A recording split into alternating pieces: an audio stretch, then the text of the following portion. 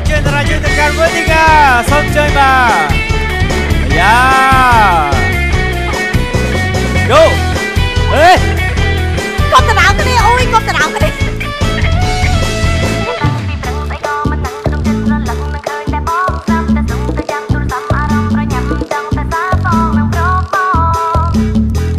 បាទជំរាបសួរតារាងយុទាំង14រូបបា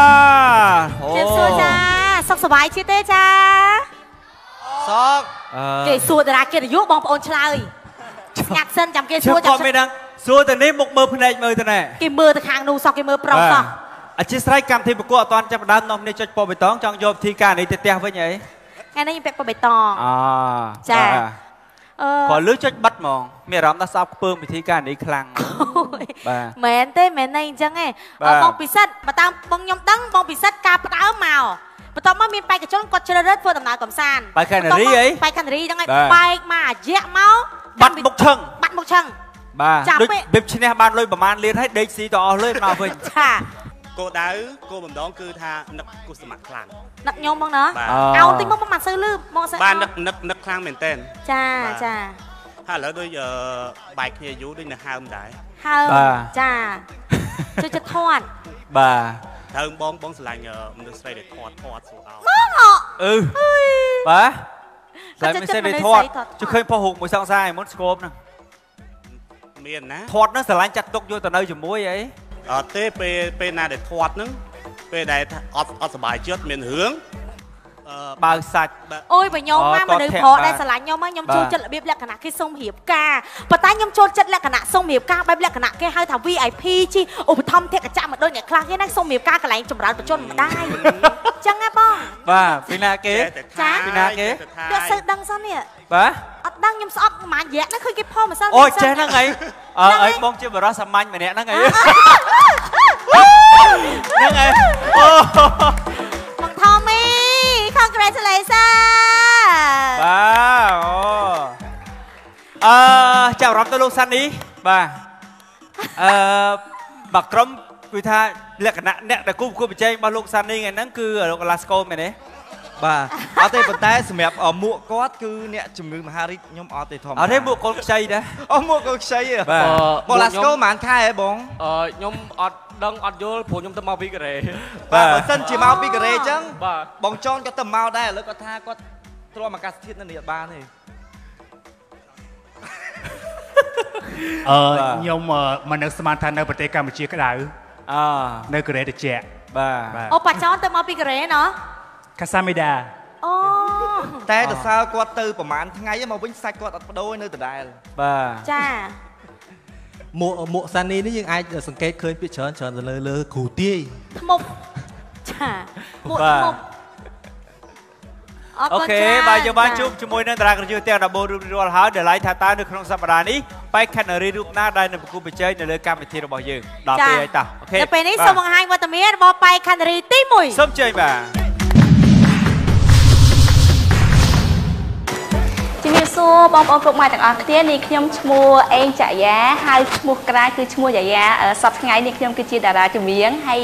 ទីកន្លែងកំណើតរបស់ខ្ញុំគឺនៅអឺភូមិទូថ្នោតឃុំពើកស្រុកអង្គស្នួរខេត្តកណ្ដាលហើយឥឡូវហ្នឹងក៏ខ្ញុំរស់នៅអឺទីហ្នឹងដដែលដោយសារតែអឺ ពី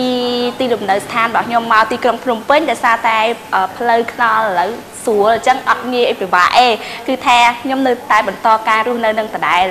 ហើយអឺពេលតនេរបស់ខ្ញុំ ពេលដែលខ្ញុំពេលតនេខ្ញុំភាកច្រើនចូលចិត្តទៅជីមប៉ុន្តែជីមហើយមិនមែនអត់ញ៉ាំទេណាជីមហើយញ៉ាំលើសដើមហើយនិយាយទៅពេលសុបាយចិត្តពេលតនេភាកច្រើនចូលចិត្តញ៉ាំមើលតាគីឡូក៏ដឹងដែរថាខ្ញុំចូលចិត្តញ៉ាំអូបាទ បែកខេត្តនារីមួយរូបដែលជាតារាចម្រៀងហើយមកពីខេត្តកណ្ដាលចាបាទអញ្ចឹងក៏មានវត្តមាននេះទៅនេះសូមសម្លេងស្វាគមន៍ជូនដល់កញ្ញាចារិយាយ៉ាហេបាទសូមហេបាទយ៉ាហេខ្ញុំសួរយ៉ាបាទជំរាបសួរបងបងទាំង14នាក់បងបាទ ខ្ញុំមិនដែរនៅពេលដែលឃើញអឺតារាកិរិយុទាំង14រូបសោះសង្ហាអញ្ចឹងចាមានអារម្មណ៍ថារំភើបអូបន្ទាប់ពីរំភើបហើយមានអារម្មណ៍អីទៀតចា ធម្មតាវិញបងយើងចង់ផ្សារសាច់ផ្សារឈាមរាប់ជាមិត្តភ័ក្តិអីទេដើម្បីយកប្រាក់លៀនពីកម្មវិធីនិយាយទៅសិតតែបងបងប្រុសខ្ញុំទាំងអស់អូនឯងបងប្រុសច្រើនណាស់ណចាប៉ុន្តែគាត់បានប្រាប់ខ្ញុំដល់ក្រោយឆាករួចហើយថាកម្មវិធីនឹងសក្តិទូតបងប្អូនមិនក្តាយបើសិនជាខ្ញុំបង្ហាញសមត្ថភាពអត់ល្អគឺគាត់ក៏អត់គូវិតង់យកខ្ញុំដែរប៉ុន្តែខ្ញុំសង្ឃឹមថាខ្ញុំនឹងសន្យាថាធ្វើឲ្យល្អអូខេអរគុណបាទអញ្ចឹងចាយាគឺជាបៃខេនរីទី1ដែលគាត់នឹងត្រៀមប្រគល់ប្រជែងជាមួយនឹងបៃខេនរីមួយរូបទៀតចង់ដឹងថាបាយខេននារីទី2ជាណាគេយ៉ាកូនខ្ចីហ៎ស្ទាយគេមែនតាអូនឯងហ៎ចាបមកងឃើចាញលេនតុកចោលអត់អីទុកឲ្យតាអូនអូនសុំពាក់អឺបង្ហាញសម្រាប់ទីចាក្បាលណៃពាក់មួយស្ថ្ងៃអាតយករបស់គេខ្ចីរបស់គេណាអ่าអាយ៉ាអាយ៉ាអាយ៉ាអាយ៉ាបាទពាក់ឲ្យពាក់ឲ្យស្អាតពាក់ឲ្យ Hello ស្អាត sister Hello អូអូនខេចា Hello បងប្អូនទាំងអស់គ្នា អូនអាសាទៅបឹងកងទិញវ៉ែនតានៅនឹងដែរណោះចាអរគុណចាឥឡូវកុំឲ្យខាត់ពេលយើងសូមជួយជាមួយនឹងបាយខេនរីទី2ដូចតទៅសុំជេបាទចាជំរាបសួរនាងខ្ញុំឈ្មោះជាសច្ចការចាដែលរាល់ថ្ងៃនាងខ្ញុំគឺជាចាអ្នករបាំប្រពៃណីនៅសាលាវិទ្យាសិល្បៈនិងជាតារាចម្រៀងមួយរូបហើយក៏ជាតារាសម្ដែងមួយរូបដែរហើយអឺរាល់ថ្ងៃនាងខ្ញុំមានបងប្អូន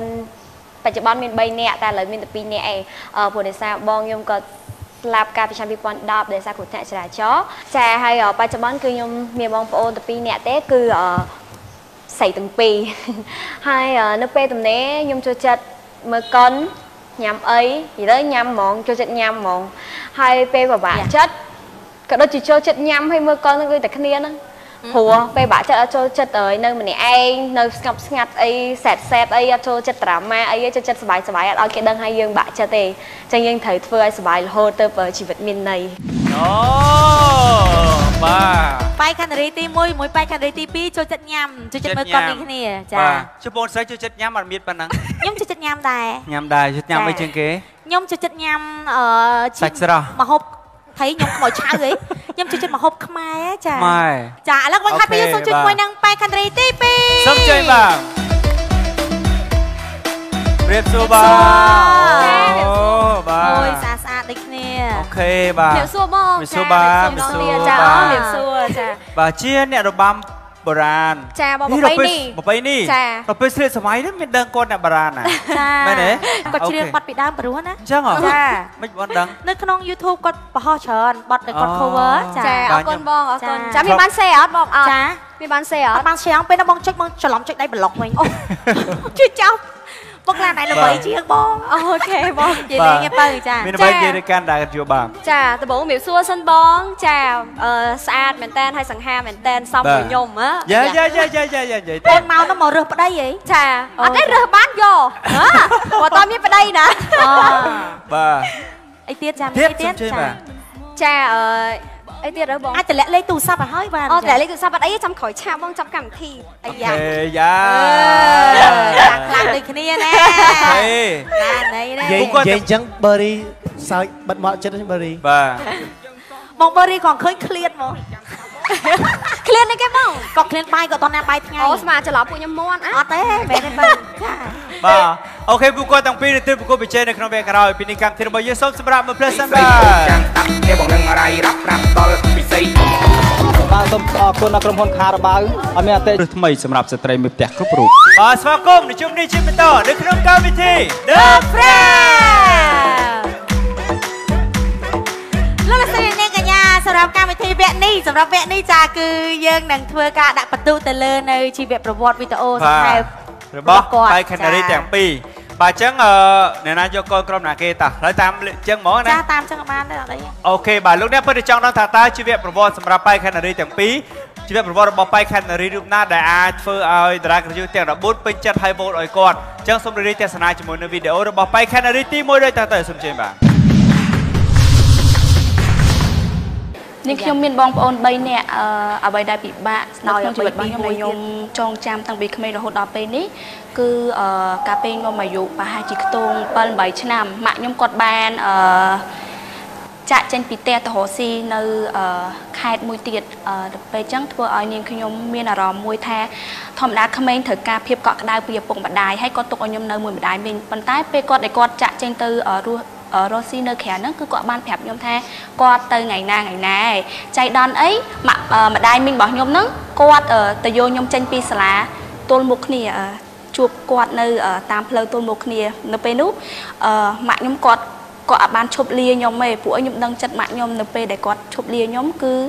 អឺគាត់ប្រកាសជាទទួលនៅអារម្មណ៍របៀបថានឹកកូនស្រឡាញ់កូនទទួលនៅអារម្មណ៍នឹងអត់បានទេហើយខ្ញុំក៏អញ្ចឹងដែរ ក៏គាត់ជិះហួសទៅហើយខ្ញុំជិះហួសមកតែអឺរឿងទាំងអស់ហ្នឹងឯងធ្វើឲ្យខ្ញុំចងចាំអត់ភ្លេចនៅក្នុងជីវិតរបស់ខ្ញុំកាលខ្ញុំនៅពីក្មេងហើយអឺភាពជោគជ័យរបស់នាងខ្ញុំនៅក្នុងឥឡូវនេះគឺនាងខ្ញុំទោះតាជោគជ័យមិនដល់អឺកម្រិតមួយដែលខ្ពស់ខ្លាំងប៉ុន្តែនាងខ្ញុំសប្បាយចិត្តនៅភាពជោគជ័យរបស់នាងខ្ញុំមួយនេះអឺហើយនាងខ្ញុំសូមផ្ដាំផ្ញើដល់ប៉ាជាទីស្រឡាញ់របស់កូនកូននឹងខំប្រឹងកូននឹងស៊ូអឺប៉ាតែងតែ អត់ចង់ឲ្យកូនធ្វើជាអ្នកសិល្បៈប៉ុន្តែអឺកូនចង់ជម្រាបដល់ប៉ាអ្វីដែលម៉ាក់បានប្រាប់កូនថាអឺខ្លួនយើងល្អមិនល្អស៊ីសងលើខ្លួនយើងហើយ កូនប្រាជ្ញាស៊ូនៅអ្វីដែលកូនស្រឡាញ់តាំងពីតូចរហូតដល់ពេលនេះចង់ខ្លាចទៅជា super star មួយរូបអឺទោះតាទៅដល់ឬក៏មិនទៅដល់ប៉ុន្តែកូនចង់ប្រាប់ប៉ាថាកូននឹងស៊ូហើយកូននឹងធ្វើជាកូនល្អរបស់លោកប៉ានិងអ្នកម៉ាក់ចំណែកនៃការរាប់អានមិត្តភ័ក្តិវិញខ្ញុំចូលចិត្តរាប់អានមិត្តភ័ក្តិដែលនិយាយត្រង់ត្រង់ឃើញអីថានឹងអត់ចូលចិត្តមិត្តភ័ក្តិដែលយើងធ្វើខុសកថាល្អអីក៏អីអឺ ចំពោះខ្ញុំគឺខ្ញុំអត់ដែលអន់ចិត្តនៅអ្វីដែលខ្ញុំធ្វើខុសហើយហើយខ្ញុំតែងតែទទួលនៅកំហុសដែលខ្ញុំធ្វើខុសហើយកំហុសដែលខ្ញុំធ្វើខុសគេតែងប្រាប់ហ្នឹងគឺខ្ញុំតែងតែកែលម្អខ្លួនឯងរិះគន់ខ្លួនឯងដើម្បីស្ថាបនាខ្លួនឯងអឺមនុស្សយើងម្នាក់ម្នាក់មិនអាចល្អ perfect គ្រប់10បានទេសូម្បីតែការរាប់អានមិត្តភ័ក្តិតែមានខុសត្រូវលើសលួសតិចតួចប៉ុន្តែយើងត្រូវតែចេះអាប់អោនឲ្យគ្នាទៅវិញទៅមកចំពោះខ្ញុំខ្ញុំចូលចិត្តរាប់អានមិត្តភ័ក្តិដែលមិត្តភ័ក្តិធ្វើខុស អឺអត់អោនឲ្យគ្នាហើយនិយាយប្រាប់គ្នាត្រង់ត្រង់ថាហែងធ្វើចេះចេះចេះអត់ត្រូវអត់ល្អអត់អីខ្ញុំចូលចិត្តរាប់អានមិត្តភ័ក្តិបែបហ្នឹងហើយនេះខ្ញុំសូមអឺផ្ញើខ្លួនទៅដល់បងបង14អ្នកទាំងអស់គ្នាកុំភ្លេចជួយឲ្យនេះខ្ញុំរយ៉ាឈ្នះអឺផងសន្យាថាបើសិនជាឲ្យនាងខ្ញុំឈ្នះនាងខ្ញុំនឹងធ្វើអ្វីដែលឲ្យសាយកំ pl ែងកំ pl ែងសាយហើយអឺនឹងមានអ្វីដែលប្លែកតែជូនដល់បងបងទាំង14នាក់អរគុណចា ពិតជាកូនក្រុមនេះខ្ញុំគឺជាមនុស្សស្រីគ្រប់លក្ខចាគឺដើរផ្ញើខ្លួនឲ្យប្រុសចាអូយល្អមែនតើគឺគាត់ចេះផ្ញើខ្លួនផ្ញើប្រាណនៅពេលដែលគាត់ទៅដល់ខេត្តឆ្ងាយអញ្ចឹងទៅជួបឧបសគ្គអីបានទៅតារាកិត្តិយសគាត់ជួយនឹងហើយបើគាត់មិននិយាយផ្ញើវវតារាកិត្តិយសមិនខ្វាយខ្វល់គាត់ទៅគាត់ជួបវ៉ាលីខ្លួនឯងគាត់មិនធ្ងន់មនុស្សស្រីគេធ្វើអញ្ចឹងណាគ្រប់លក្ខល្អដូចកូនណាដូចម្ដាយអញ្ចឹងកូនណាចាបាទអូខេឥឡូវនេះយើងបានទស្សនាជាមួយនឹងវីដេអូជីវប្រវត្តិរបស់បៃកាណារីទី1ហើយឃើញថាគាត់ក៏មានរឿងរ៉ាវតស៊ូនៅជីវិតច្រើនដែលឡៃតាតាបៃកាណារីទី2រឿងរ៉ាវជីវិតរបស់គាត់យ៉ាងណាសូមទស្សនាទាំងអស់គ្នាសូមជើញបាទងាកមកគ្រួសារខ្ញុំវិញនិយាយទៅពីដើមមកមិនមែនជាអ្នកធូធាគឺជាអ្នកអត់ហ្មងហើយជាអ្នកនៅខេត្តសុកណើតនាងខ្ញុំគឺនៅខាងស្គុនចាខេត្តកំពង់ចាមនិយាយទៅអឺ ពីដើមមកគឺអ្នកនៅខេត្តទៅមកនៅភ្នំពេញដំបងគឺម៉ាក់ខ្ញុំធ្លាប់តាំងដាក់ទូរស័ព្ទលក់ទឹកដូងតាមចាំផ្លូវដាក់ទូរស័ព្ទសាធារណៈហ្នឹងលក់កាតទូរស័ព្ទលក់នំលក់អីចឹងទៅហើយខ្ញុំមានបងប្អូន2នាក់ហ្នឹងពីដើមមកខ្ញុំមានមានបងប្រុសហ្នឹងហើយបងប្រុសខ្ញុំប៉ុន្តែខ្ញុំបានមករៀននៅភ្នំពេញតាំងពីទូចប៉ុន្តែបងប្រុសខ្ញុំគាត់នៅខេត្តទេព្រោះដោយសារយើងនៅអត់អញ្ចឹងបងខ្ញុំនៅខេត្តហ្នឹងគឺគាត់រៀនបដាគាត់ ខ្វៀវប៉ែមើលគោមើលអីចឹងទៅនឹងហើយហើយបន្ទាប់មកគ្រួសារខ្ញុំរករៀងធូរធានបន្តិចវាហារនិយាយទៅស្អីប៉ះអីរនឹងចឹងណាលក់អីលក់អីចឹងទៅហើយបន្ទាប់ពីប្រហែលជាខ្ញុំអាយុ10ឆ្នាំម៉ាក់ខ្ញុំគាត់រៀងគ្រាន់បានបន្តិចយើងបានទិញផ្ទះមួយនឹងឯងនៅជន់លើឯងមិនមែនផ្ទះអីធំដុំអីនិយាយទៅមកនៅមកគ្រួសារមកកតុបហ្នឹង បានម៉ាក់ខ្ញុំផ្លាស់បងខ្ញុំមករៀននៅភ្នំពេញផ្លាស់បងប្រុសខ្ញុំរៀននៅភ្នំពេញបាន2ឆ្នាំអឺនិយាយទៅខ្ញុំមួយបងប្រុសខ្ញុំខ្ញុំអត់មានអនុស្សាវរីយ៍អីច្រើនទេព្រោះខ្ញុំនៅបែកគ្នាខ្ញុំទំនៅមួយគ្នាបាន2ឆ្នាំពេលដែលគាត់មកនៅភ្នំពេញហ្នឹងគាត់ត្រូវប្រឡងទី12ឆ្នាំហ្នឹងតែអកុសលអីថ្ងៃភ្ជុំធំហ្នឹងយើងទៅស្រុកជុំគ្នាប៉ុន្តែគាត់អឺនឹងឯងគាត់ជីតដើរលេង với ពួកម៉ាក់គាត់ចឹងណាទៅ ឡានគេមកបុកពីក្រោយហើយក៏គាត់ស្លាប់ទៅនិយាយទៅកាលហ្នឹងខ្ញុំនៅក្មេងដែរប៉ុន្តែគ្រាន់ខ្ញុំដឹងថាពីអ្នកបងប្អូនខ្ញុំពេលដែលខ្ញុំនៅជាមួយគ្នាហ្នឹងគឺនិយាយទៅខ្ញុំមិនដែរឈ្មោះគ្នាពីអ្នកបងប្អូនខ្ញុំដូចអាឡុកញីឈ្មោះអញ្ចឹងគឺស្រឡាញ់គ្នាពេលខ្ញុំទៅរៀននិយាយទៅ គឺខ្ញុំខ្ញុំជាកូនបើជាកូនស្រីហើយប្អូនមានបងនៅកក់ក្ដៅ ខ្ញុំទៅរៀនខ្ញុំទៅណាគឺមានគាត់យកខ្ញុំទៅគ្រប់ជំហានទាំងអស់តែពេលដែលបាត់បង់គាត់យើងធ្លាប់ឲ្យចេញពីរៀនបងតយ៉យើងអស់បងតយ៉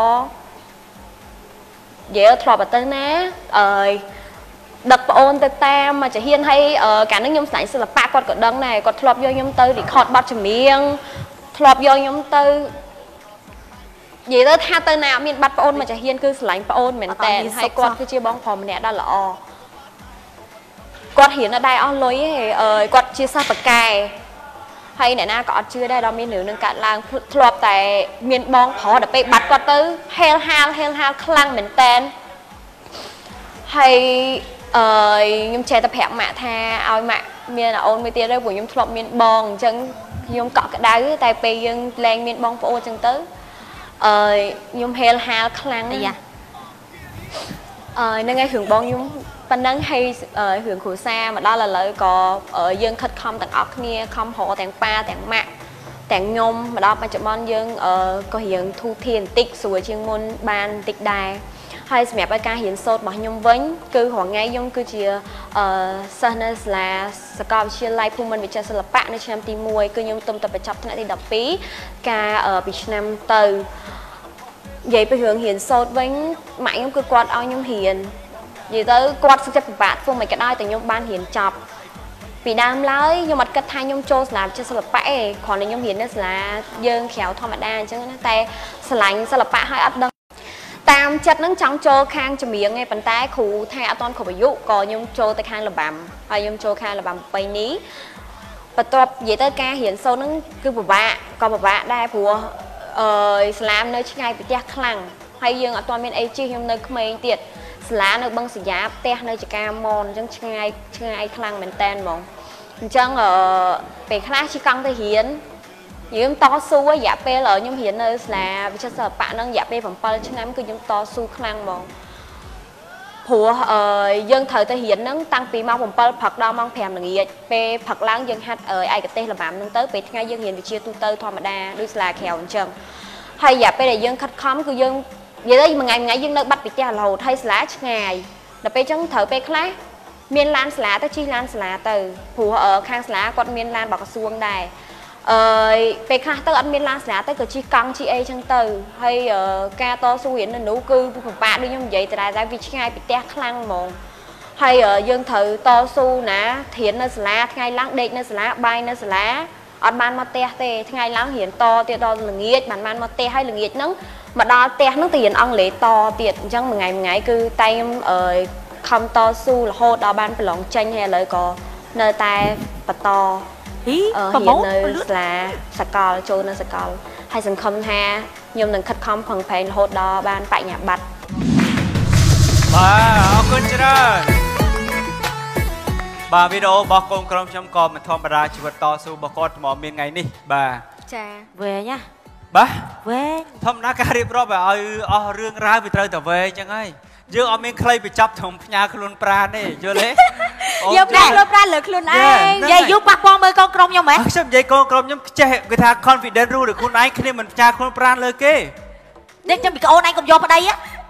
ហេចាំពេលមានប្តីចាំផ្ញើខ្លួនប្រានលើប្តីកុំផ្ញើលើគេ4 10នាក់ច្រើនណាបងយល់ទេអូយច្រឡំបាញ់ចំចំយើងផ្ញើ ខ្លួនប្រាហ្នឹងមានន័យថាយើងផ្ញើខ្លួនយើងនៅក្នុងកម្មវិធីនឹងជួយឲ្យគាត់ចុចប៊ីតុងក្រហមក្រហមយកយើងដើម្បីយើងឈ្នះដើម្បីបានចុះអាពេលក្នុងវីដេអូហ្នឹងមិនសម្រាយឲ្យគេស្ដាប់ផងគេមិនដឹងខ្ញុំគិតថាចង់សម្រាយនៅលើឆាកវិញល្អជាងបងស្រីល្អអូខេបាទជាក្រោយពីបានទេសនានៅវីដេអូជីវប្រវត្តិឧបនិស្ស័យចំណងចំណុចចិត្តរបស់ពួកគាត់ទាំងពីរហើយសូមត្រៀមនៅក្នុងការវោតប្រសិនបើពេញចិត្តកញ្ញាយ៉ាគឺកញ្ញាយ៉ាមានពណ៌ក្រហមក៏និយាយឈ្មោះរបស់គេអញ្ចឹងខ្ញុំអត់យល់ទេប្រកាសតែកូនក្រុមអញ្ចឹងទៅណែអរគុណបងសូម កាត់បញ្ចាំខ្ញុំនិយាយម្ដងទៀតបើសិនបើពេញចិត្តកូនកូនរបស់ខ្ញុំគឺកញ្ញាកាគឺមានពណ៌3តសូមជ័យវោតតោះបើពេញចិត្តកូនក្រុមរបស់នេះខ្ញុំចាសូមកុំភ្លេចវោតត្រៀមមួយយ៉ាពងក្រហមត្រៀម1 2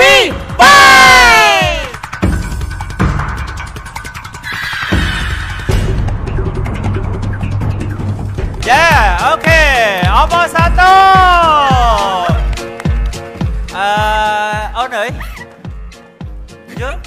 ឥឡូវឥឡូវអស់ពីកូនក្រុមមេក្រុមទៅផ្ញើខ្លួនប្រានម្ដង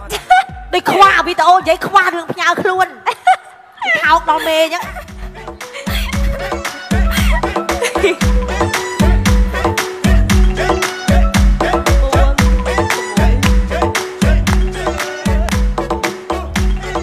តែទៅពេទ្យអង្គឌួងឯភ្នែកហ្នឹងមិនបានសួរអញ្ចឹងមើលមកចុចពណ៌បៃតងមកពណ៌ក្រហមមិនមិនចុចអត់ទេដោយសារតែកាពិតអឺ ជីវិតរបស់យ៉ាយ៉ាក៏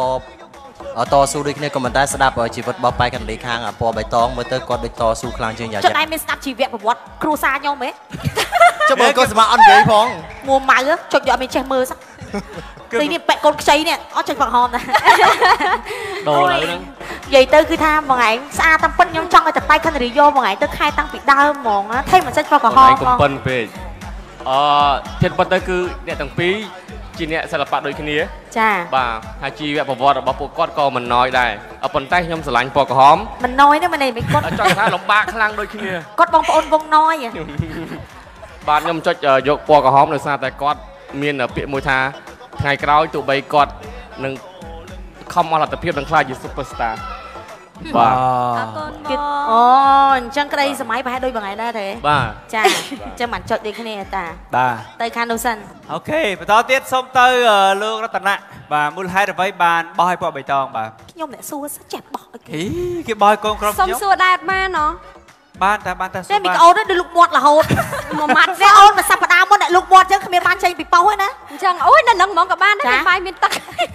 ជីវប្រវត្តិរបស់បែកខណ្ឌនារីទាំងពីរនាក់មើលទៅពិបាកដូចគ្នា បាទប៉ុន្តែមូលហេតុដែលខ្ញុំជ្រើសយកបែកខណ្ឌនារីពណ៌បៃតងដោយសារមូលហេតុមួយគឺគាត់ខំរៀនតាំងពីព្រឹករហូតដល់យប់សុខចិត្តញ៉ាំបាយនៅសាលានេះតែបត់ជើងតូចនោះក៏យកសភៅចូលអានដែរសួរខ្ញុំហ៎ហើយមួយទៀតខ្ញុំចូលចិត្តអ្នករាំរបាំអូអរគុណអរគុណគេឡើយ ចុចបោះហមអឺតែមិនចុចភ័យលៃអត់ទេអឺខ្ញុំចាប់បានអ្វីដែលគាត់និយាយមួយគឺអឺការរាប់អានមិត្តភ័ក្តិរបស់គាត់គាត់ជិះរាប់អានមិត្តភ័ក្តិណានិយាយថងថងបាទបាទចឹងខ្ញុំឆ្លាញ់ចរិតមួយនឹងដែលរាប់អានគ្នានិយាយថងថងកុំនិយាយដើមគ្នាក្រោយខ្នងអូខេដល់ពេលនិយាយដើកុំនិយាយដើមជាគោរពហ៎អាពេលនិយាយដើមក្រោយខ្នងនេះមើលមុខខ្ញុំអូមានខ្លួនហ៎អត់មានទេទើបឥឡូវឥឡូវសូសូសូនៅពេលលេមួយនៅពេលលេចូលចិត្តនិយាយត្រង់ឥឡូវនិយាយត្រង់កូនសមាស្អាតអត់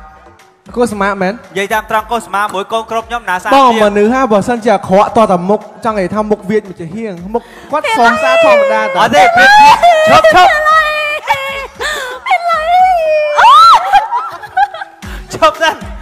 ប្រៀបធៀបកូនសមាមួយកូនក្រុមខ្ញុំតាមមួយណាមកប្រៀបធៀបអីគេស្អាតម្យ៉ាងម្នាក់ខ្ញុំស្អាតបែបខ្ញុំឥឡូវសួរការនិយាយពិតបងនៅពេលអីសិនទីមួយគាត់ប្អូនគូសមៈច្រើនណាអីអត់ទេបើសិនជាគាត់ត្រូវ អត់ទេមែនធម្មតាការគូសមៈនៅក្មេងអាក្រក់បមែងនបាច់សួរគាត់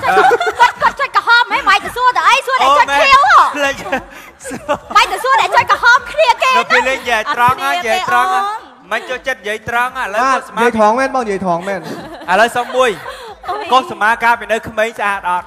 អឺមនុស្សយើងណាធម្មតាតែពេលអាក្រថាក់ឆ្លើយតែមួយម៉ាត់មកស្អាតអត់ពីក្មេងអត់ស្អាតតែឥឡូវស្អាតយើងយកអត់យកឥឡូវទេ យកពីក្មេងស្អាតអត់ក្មេងអាក្រក់ឥឡូវស្បាអាទតអត់ទេនិយាយតែមួយទេពីក្មេងស្អាតអត់អត់បាទកូនសមាពីក្មេងស្អាតអត់លឿនទទួលយកអត់ចង់បានកូនសមាពីក្មេងស្អាតអត់ cute បង cute ក្មេងអឺស្អាតស្អាតខារ៉ាបាវ5កេះខារ៉ាបាវ5កេះត្រីខមកយូរកូនសមាពីក្មេងគួរឲ្យចង់ធាក់អត់បងចណាខារ៉ាបាវ5ស្គាល់គ្នាយូរហើយកុសមាពីក្មេងមិនប្រមាណទេ ដៃពិតអស់សួរទៀតស្របបន្ទុកទៅចាស្រាប់បន្ទុកក្រុមខ្ញុំឈ្នះ2ទៅខ្ញុំស្របវិញ3 5ក្រុមពណ៌ក្រហមទទួលបាន5បន្ទុបាទពណ៌បៃតងទទួលបានក9 9បន្ទុកសោយមេលេង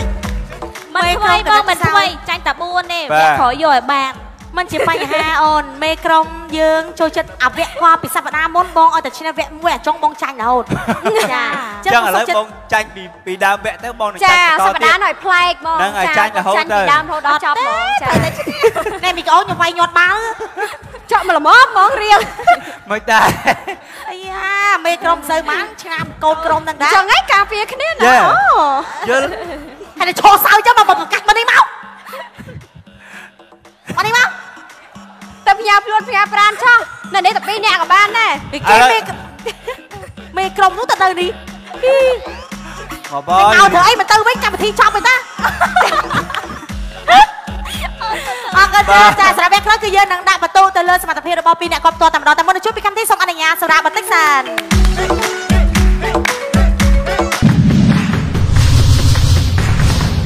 ចា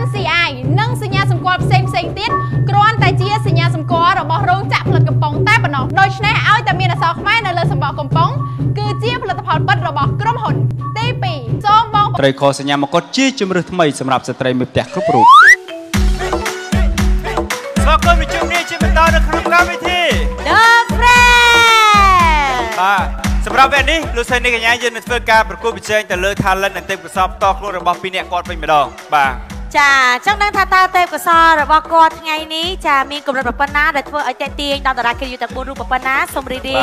ជួបពួកគាត់ដូចតទៅសូមជើញបាទ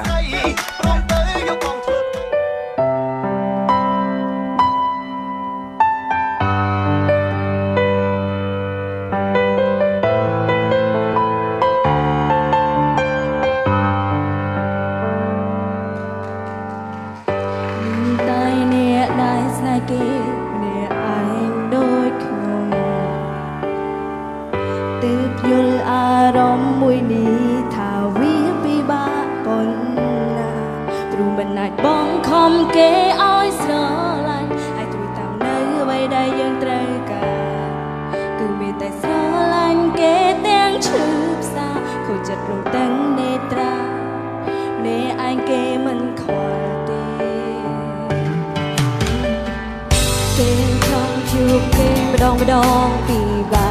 ខ្លាំងណាស់តើតែមានហេតុផលច្បាស់ទើបអាចជួបអាចក្បែរគេព្រោះយើងមិនមែនជាមនុស្សស្រីសំខាន់ដែលគេប្រាថ្នាចង់នៅក្បែរនោះទេគេមិនដែលចាប់អារម្មណ៍នឹងយើងទេតែបន្តស្រឡាញ់គេតែម្នាក់ឯងដើម្បីអ្វី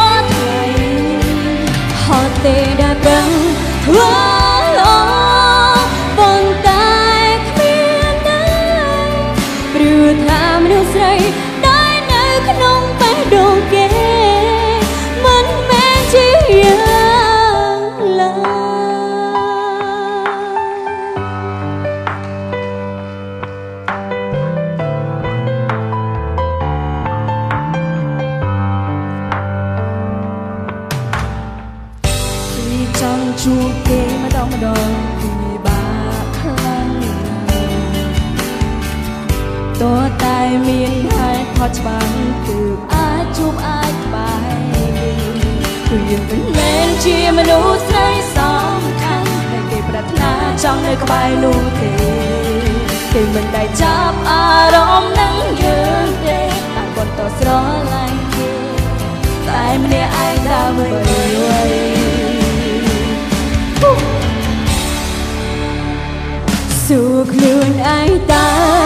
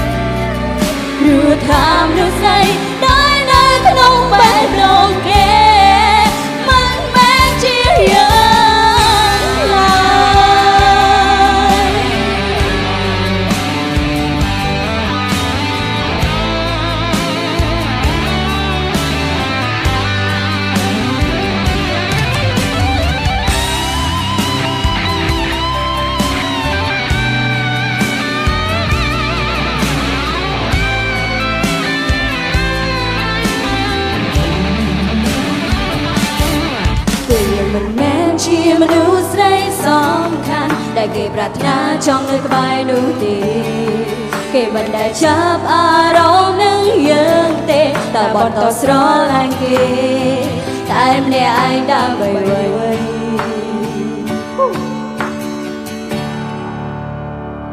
សួរខ្លួនឯងតើហត់ទេស្រឡាញ់គេម្នាក់ឯង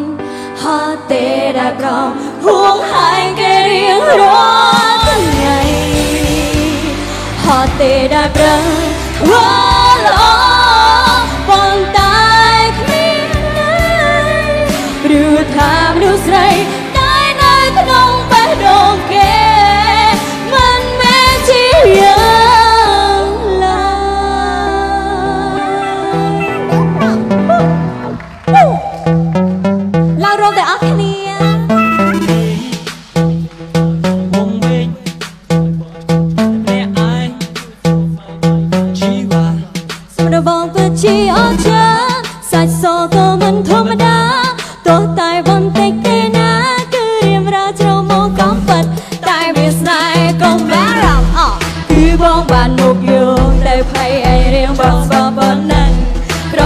កុំតាន់ខឹងរៀងស្វាតបែបហ្នឹងក៏គេស្នេ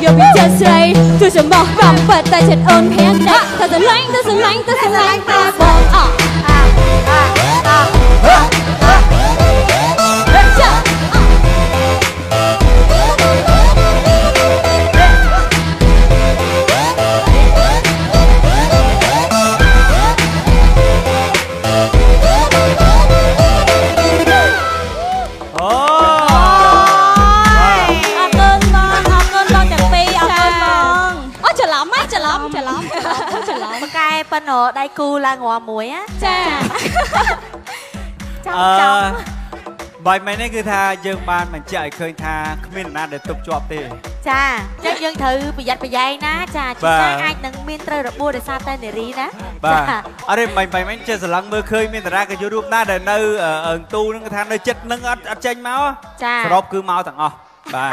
តែបងឯងក៏មកដែរមែនតាមែនទេបាទចាអូខេអរគុណបាទឥឡូវយើងនឹងធ្វើការដាក់បន្ទុកសូមឲ្យតារាកេយួរចាត្រៀមនៅក្នុងហើការយវោតចាបាទអញ្ចឹងសម្រាប់ពួកគាត់ បើសិនបើពេញចិត្តជាមួយនឹងអឺកញ្ញាការគឺកញ្ញាការមានពណ៌បៃតងចាប្រពេញចិត្តកញ្ញាចរិយាគឺមានពណ៌ក្រហមសូមត្រៀមនៅក្នុងការវោតទៅលើសមត្ថភាពរបស់បៃខណ្ឌនារីទាំងពីរ1 2 3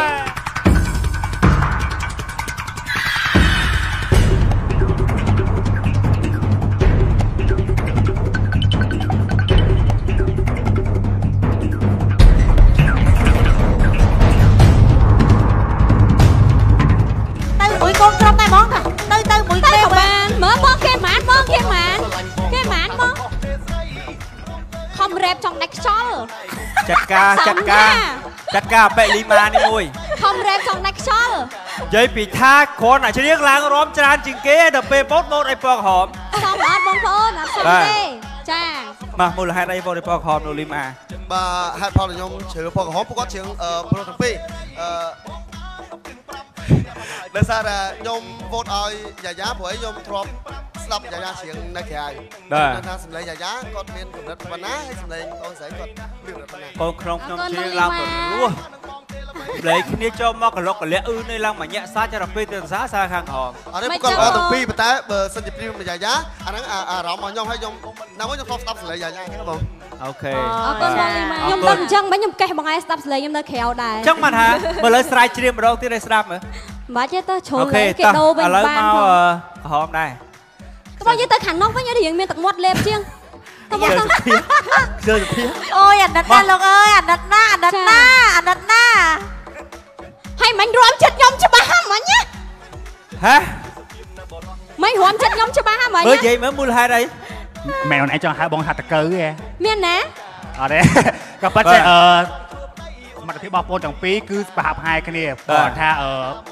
ពេលដែលផ្ដើមជាងដំបងគឺសម្លេងតាក់យ៉ាយ៉ារៀងតាក់ជេងជាងតិច ចាបាទដឹងអញ្ចឹងខ្ញុំទៅដាំជើងដបងវិញមែនតែបើសិនយកឯងជាដំបងបងយកអូនឯងបាទនិយាយទៅគេជាប់ដោយសារគេជើងដបងហ្នឹងណាដំបងគាត់ថាអីអញ្ចឹងយើងអត់ឈឺចាប់ទេបងតើមានណាគេល្អជាងបងខ្ញុំទេនិយាយមែនខ្ញុំស្រឡាញ់គាត់ខ្លាំងហ្មងបើថារាប់មួយប្អូនរុញយកទៅដល់ឆាកនោះទៀតហើយបើថាអត់ចុចប្អូនទៀតចប់អត់តមីអត់តអត់តការអូនអឹមស៊ីអូច្រឡំចាច្រឡំលេខ្លួនមិញខ្ញុំច្រឡំដែរតែបានគេអូដូនរគាត់មានអារម្មណ៍សួរចុះសួរចុះសុំទោសអូខេសុំទោតោះសសានេះមូលហេតុមកអត់ទេអឺ ការគឺដោយសារតែខ្ញុំអត់អឺយ៉ាសលេងគាត់ព្រោះប៉ុន្តែបើសិនជាគេហៅថាអារម្មណ៍វិញខ្ញុំស្លូចូលចិត្តសលេងការច្រើនជាងចាជួយជួយបិទម៉ៃជួយបិទម៉ៃផងចាបិទម៉ៃទៅអីអត់ចាទាន់បិនិយាទម៉ៃជុំយចប់ផងនិយាយហ្នឹងចាងាបលាចាតោះសុំជើញសុំសួរទៅមិញភាលីសួរហើយណាចាឥឡូវសុំសួរបងពៅពិសិដ្ឋអែមអែមស្អីគេទេ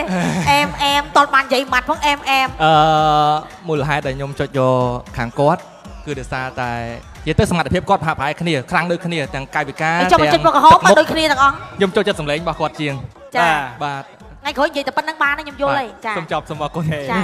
បាទអរគុណអញ្ចឹងសូមធ្វើការសរុបបន្ទូលជូនសម្រាប់វគ្គនេះគឺបៃខណ្ឌរីពណ៌បៃតងគឺទទួលបានចំនួន6ពិន្ទុអឺមិនបាន2ណា6ទេតាចាសម្រាប់បៃខណ្ឌរីបកក្រហមទទួលបាន8បន្ទូបាទ អូខេអឺមិនធ្វើយើងតឲ្យគេមួយវគ្គចាបងធម្មតាគូគូប្រជែងទោះបីយ៉ាងណាក៏យើងមានធម៌ក្នុងខ្លួនការមេត្តាសន្តោសមែនដែរអូយយល់យើងសិតតែចិត្តល្អដូចគ្នាចាចិត្តបងធម៌ចាអត់ឈ្លាននេះគេនិយាយត Yeah ចាបាទពីរនាក់នឹងឈួតទេនិយាយតែឯងឆ្លើយតែឯងនេះអត់មានអបានត់និយាយតែឯងឆ្លើយតែឯងមិនពីរនាក់គេនិយាយពីរនាក់នេះអូហ្នឹងខ្ញុំចង់និយាយថាពីរនាក់ហ្នឹងនៅតែឯងឆ្លើយតែឯងគេអត់មានឈ្នានីអីសោះគេនៅតែលើគេអូចាអូសំទោសចាទៅបတ်កម្មវិធីយើង ចាអរគុណច្រើនបាទលោករសេនីកញ្ញាចាំមួយណាចាអូនៅខាងនេះតាំងតែម្ដងដែរអរគុណច្រើនចាំវគ្គក្រោយគឺយើងនឹងឆ្លើយសំណួរយើងអឺបន្ទុកណាតែមុននឹងចូលចាប់ពីកម្មវិធីអនុញ្ញាតជាមួយនឹង sponsor សិនចា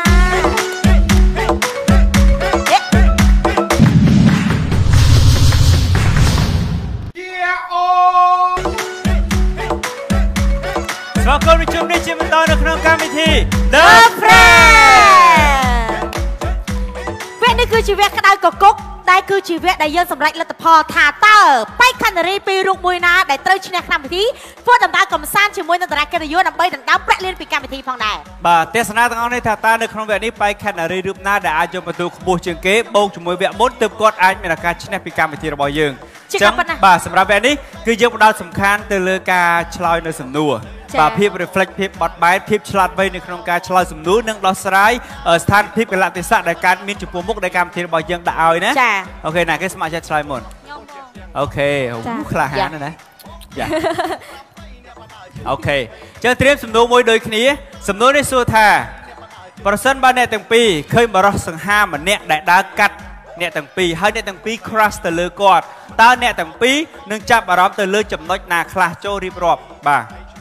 ចំណុចរបស់បរិសនោះណា crush រកចំណុចណាខ្លះនិយាយអស់មកចាបងមើលអីមុនមើលអីមុនពេញចិត្តតាណាខ្លះណាអូខេតោះចាបងរៀបអេជួនកាលមនុស្សប្រុសដើរក្រាស់ហ្នឹងដើរចេះរើអទេបរោះសង្ហាឲ្យដើរអញ្ចឹងបរោះសង្ហាមានចង់គ្រាន់ដើរកាត់មុខហ្មងហ៎បងចេះគាត់ថាឃើញក្រាស់មួយដើរវឹបអញ្ចឹងអូខេតើយើងស្រឡឹងហ្នឹងហ៎អូយដាដាទេអេអត់អីបាទអូខេសង្ហាដើរកាត់តើយើងដែល crush លើគាត់ហ្នឹងសិតចាប់ដើមចាប់អារម្មណ៍ស្រឡាញ់គាត់ហ្នឹងតើដំបូងគឺឃើញចំណុចត្រង់ណាខ្លះមានអីខ្លះណាអូខេតោះរកជូន1 1 2 3 2 3 បាទចំពោះនាងខ្ញុំវិញបើសិនជាខ្ញុំឃើញអឺបរិសង្ហាដែលនៅកាត់មុខខ្ញុំនាងខ្ញុំអឺសម្គាល់មុនគេគឺស្បែកជើងហេស្អីតែគេស្បែកជើងព្រោះអី ភាកច្រើនបរោះដែលឧស្សាហ៍មិនឧស្សាហ៍យើងមើលស្បែកជើងបើស្បែកជើងគាត់រៀងអាក្រិចឬក៏អត់សូវស្អាតមានន័យថាគាត់រៀងខ្ជិលបើសិនជាបរោះដែលស្អាត perfect គាត់ជាមនុស្សម្នាក់ដែលស្អាតគឺគាត់ចេញពីផ្ទះទៅគាត់គាត់ប្រកាសជា check មើលរូបរាងកាយអឺគាត់ទាំងអស់ហ្នឹងហើយគាត់អត់បានចាប់អារម្មណ៍ថាស្បែកជើងព្រោះអីនៅក្រោមគេអត់គេគេអត់សូវសម្លឹងមើលស្បែកជើងឯងបងប៉ុន្តែបើខ្ញុំផ្ទាល់គឺខ្ញុំសម្លឹងមើលស្បែកជើងព្រោះតែឧស្សាហ៍មិនឧស្សាហ៍ខ្ញុំមើលទៅលើស្បែកជើង ហើយអឺទី2ខ្ញុំសម្គាល់លើមើលកញ្ចក់ដៃរបស់គាត់អូយអូនឯងដូចបងម៉េះចាមនុស្សប្រុសកញ្ចក់ដៃក៏ឃើញធ្វើម៉េះអញ្ចឹងគាត់នឹងពិនិត្យមើលមួយទៀតទៅលើកញ្ចក់ដៃច្រើនណាទី3មានទី3ហ៎ទី3តាមានទីទី3អត់3គឺខ្ញុំមើលទៅលើអឺសាក់ក្បាលបើសិនជាបរោះម្នាក់ហ្នឹងអាចអង្គុយចិត្តខ្ញុំខ្ញុំសុំសក់ក្បាលគាត់ហិតហ្មងចំបើសិនបើសិនបើសិនជាខ្ញុំស្គាល់គ្នាស្និទ្ធស្នាលបាទចាព្រោះអីនិយាយទៅមនុស្សប្រុសដែលខ្ញុំស្រឡាញ់គឺខ្ញុំស្រឡាញ់ perfect តាំងពីអឺចុងជើងដល់ចុងសក់បាទហើយ OK មនុស្សប្រុសម្នាក់អរគុណបាទច្រើនមកហើយ OK អរគុណច្រើនបាទតោះដល់វិញការវិញម្ដងចា OK តោះត្រៀម1 2 3ចាសម្រាប់ខ្ញុំទី1អឺគឺខ្ញុំមើលទៅលើសម្លៀកបំពាក់បងសម្លៀកបំពាក់ OK ការបាទស្លៀកពាក់អឺតើមើលទៅគាត់ស៊ីជាមួយយើងអត់ចាអូតើអូខេអឺការតែងខ្លួនរបស់យើងនឹងរបៀបម៉េចតើបាទការតែងខ្លួនរបស់គាត់នឹងរបៀបម៉េចតើគាត់មើលទៅស៊ីមួយយើងព្រោះពេលខ្លះរឿងស្បែកជើងកញ្ចក់ជើងគាត់ណាគាត់ ចុះពីឡានមកអីចុះពីឡំប្រឡាក់ផុកប្រឡាក់អីចឹងវាមើលអត់ឃើញអញ្ចឹងណាបាទហើយអឺ style ស្លៀកពាក់របស់គាត់តើគាត់ស៊ីជាមួយយើងអត់បាទតាគេហើយគាត់អឺស្រីតបាទសម្រាប់ខ្ញុំហ្នឹងហើយបើសិនជាមើលទៅចាក្រាស់របស់ខ្ញុំហ្នឹងការស្លៀកពាក់គាត់ស៊ីគ្នាជាមួយខ្ញុំ style ដូចខ្ញុំចាហើយអឺមួយទៀតគឺអ្វីដែលសំខាន់បំផុតហ្នឹងគឺអត្តចរិតឯងបងចាអតែយើងបាទសិក្សាមួយគាត់ទៅតើអឺអត្តចរិតគាត់ហ្នឹងគាត់អាច ទ្រាំទ្រជាមួយនឹងអឺអ្វីដែលវាហៅចំណុចខ្វះខាតរបស់យើងបងព្រោះណាមួយហើយគាត់អាចទទួលយកអឺដែលយើងជាអ្នកសិល្បៈចាអឺបាទគាត់អាចទទួលយកបានអត់តើអឺគាត់អាចអឺទទួលយកនៅចំណុចខ្វះខាត របស់យើងបានអត់ហើយអឺគាត់ជួយកែតម្រូវនៅចំណុចខ្វះខាតរបស់យើងអត់ឬអឺគាត់ជន់បលិចបន្ថែមអីអញ្ចឹងណាបងចាឥឡូវនេះយើងបានបង្ហាញពីសមត្ថភាពនៃការឆ្លើយរបស់ពួកគាត់ហើយ នៅយើងឆ្លងកាត់ដំណាក់កាលមួយទៀតយើងនឹងអញ្ជើញតារាកិត្តិយសមួយរូបព្រោះពួកគាត់ប្រកែកនិយាយប្រកែកពីព័ត៌មានអំពីមនុស្សប្រុសអញ្ចឹងយកតារាកិត្តិយសម្នាក់មកខាងមុខដើម្បីឲ្យអ្នកទាំងពីររៀបរាប់អំពីចំណុចរបស់តារាកិត្តិយសរូបនោះណាតោះក៏សមានអញ្ជើញតារាកិត្តិយសមួយរូបតោះចាអរគុណច្រើនឥឡូវយើងក្រុមជើញលោកបឺរីចុះ សូមឲ្យតារាអឺបែកខាងរីទាំងពីររូបចាបាទរាយរាប់អ្វីដែលជាបានឃើញនៅកណ្ដាលនោះតែម្ដងចាតែដាណាអូខេចាចាបាទចារៀបរាប់អំពីតារាកិត្តិយសមួយរូបនៅខាងមុខណាអូខេត្រៀមដូចតែងសក្តីអញ្ចឹងចា1 2 3ចាខ្ញុំមើលទៅអឺពណ៌សក់គាត់ចាស៊ីជាមួយនៅសម្បុររបស់គាត់ហើយអឺអញ្ចឹមចាស៊ីជាមួយភ្នែកជាងតឹងតឹងបន្តិចចាហើយអឺសម្រាប់ចំមុះវិញអូយសុំទៅចិត្តបន្តិចទៅសុខភាពបងបាទចាហើយសម្រាប់កុំគៀកពេកអូនកុំគៀកពេកយ៉ាត់យាយកុំគៀកពេកណា ហើយអឺចំមុះគាត់ចាស៊ីជាមួយភ្នែកស៊ីជាមួយអញ្ចឹមហើយចាអញ្ចឹងអត់អីទេបងតែបើគាត់ធ្វើវាអត់លើសពេកណាមួយម៉ម អត់ទេធ្វើ ចាអូគាត់ឲ្យទៀតអត់ទេបង original តែដូចខ្ញុំដែរហ្នឹង អូខេ ចា បាទ ហើយអឺសម្រាប់ពុកមាត់គាត់ទុកសំស៊ីមួយមុខចាហើយអឺបបេមាត់มันខ្មៅពេកហើយក៏มันផ្កាឈូកពេកมันល្មមចាហើយអឺសម្រាប់សវលគាត់ ខ្ញុំថាដូចជាមិនសពេកទេព្រោះខ្ញុំឃើញបងសានីគាត់រៀងសជាងណាចាខ្ញុំឃើញនិយាយទៅគីឡូរបស់គាត់ចាស៊ីជាមួយកពស់គឺសមហ្មងហើយគាត់អត់មនុស្សវាធំលើទូចក្រមអីចឹងណាអីគេមើលទៅធំអីគេមកមកសំរុំហ្មងអត់អត់អាហ្នឹងរបៀបមិនធំលើទូចាខោសេកាអត់ទេរៀងស្វិតក្រោយតិចអត់ទេឲ្យបបលមកជុំសិនបបលមកជុំបបលមកជុំសិនបែកបងខិតសុំបែកក្រោយបបលមកមកជុំគូតខ្ញុំឃើញគូតរៀងស្វិតណាមួយថ្ងៃអត់មានរីកអូយជុំគូសោះគេឡើងស្អាតទេជឿថា អត់ទេបងមនុស្សប្រុសប៉ុណ្ណឹងបានទេចាចាគូតតយពេកអើយបានមនុស្សស្រីទេអរគុណដល់អឺការរាប់មកចាវិញអូបកកែមែនទេតោះឥឡូវដឹងដល់វេនឲ្យកូនក្រុមរបស់អឺកញ្ញាកុស្មាម្ដងគឺអឺ កែកាអឺយ៉ាចាចាបងប៉ុន្តែអឺថ្មីមាត់របស់អឺអូនកាគឺគាត់បានអឺវិភាគជាមួយនឹងបងបឺរីរួចរាល់ហើយតែឥឡូវយើងចង់ឲ្យបងដូអូរនវិភាគជាមួយនឹងសន្តិសុខបងសន្តិសុខខាងក្រៅវិញម្ដងពូសន្តិសុខគាត់អាចវិភាគបានព្រោះប្រពន្ធគាត់មកដែរអ่าចាឥឡូវយើងបាទវិភាគជាមួយនឹងបង Alaska តាសុំជើញបាទតាជើញចាទៅបើស្រីអត់តែខ្ញុំមានអារម្មណ៍ថាបងអាឡាស្កូដូចកើតជំងឺខ្ញុំនិយាយមែនណាបងស្កូវិភាគគាត់មែនបង ចាបងចាអឺ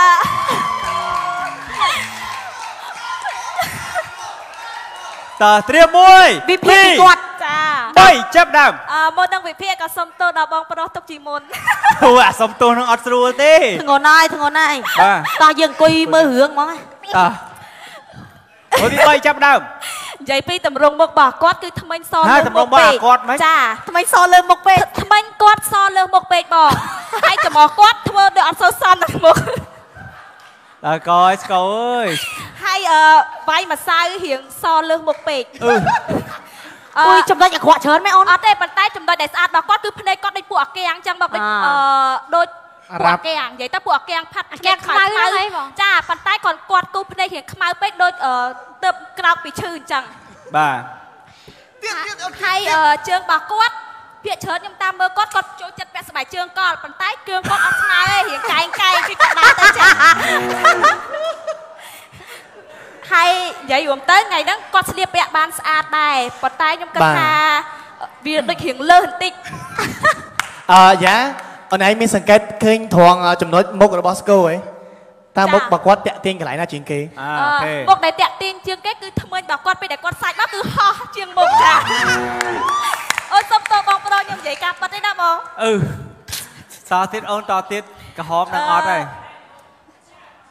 បាទចង់សួរចង់សួរទៅយ៉ាតិចយ៉ាយ៉ាចាឧបងទាហរណ៍ថាបើសិនបើបរោះដែលគាត់ចូលចិត្តពាក់បាយជើងអញ្ចឹងហើយស្រឡាញ់យ៉ាខ្លាំងមែនតើហ្នឹងយ៉ាសម្រាប់ចិត្តយកគាត់អត់បាទខ្ញុំបានប្រាប់គាត់ថាបងសុំទោសអនាគតខ្ញុំពេលឆ្ងាយមិនអាចផ្ញើទៅលើបងបានទេចាតោះអាចវិភាគតទៀតហើយអឺខ្ញុំគិតថាបើសិនជាបងស្គរគាត់មានដើមទ្រូងរៀងជាងហ្នឹងតិចទៀតមើលទៅឃើញរៀង handsome អើហើយបើសិនជាខោពាក់រៀងអលងអលងជើងហ្នឹងតិចទៀត ប្រហែលជាអាចស្អាតចាចាបាទសូមហើយកាត់ខ្សែមួយកបើសិនជាអាចដោះចោលផលអល្អចំណុចល្អរបស់គាត់គឺគាត់ដូចពួកអាកាំងអញ្ចឹងដូចប្រទេសអឺអីត្រឡប់ដូចប្រទេសដូច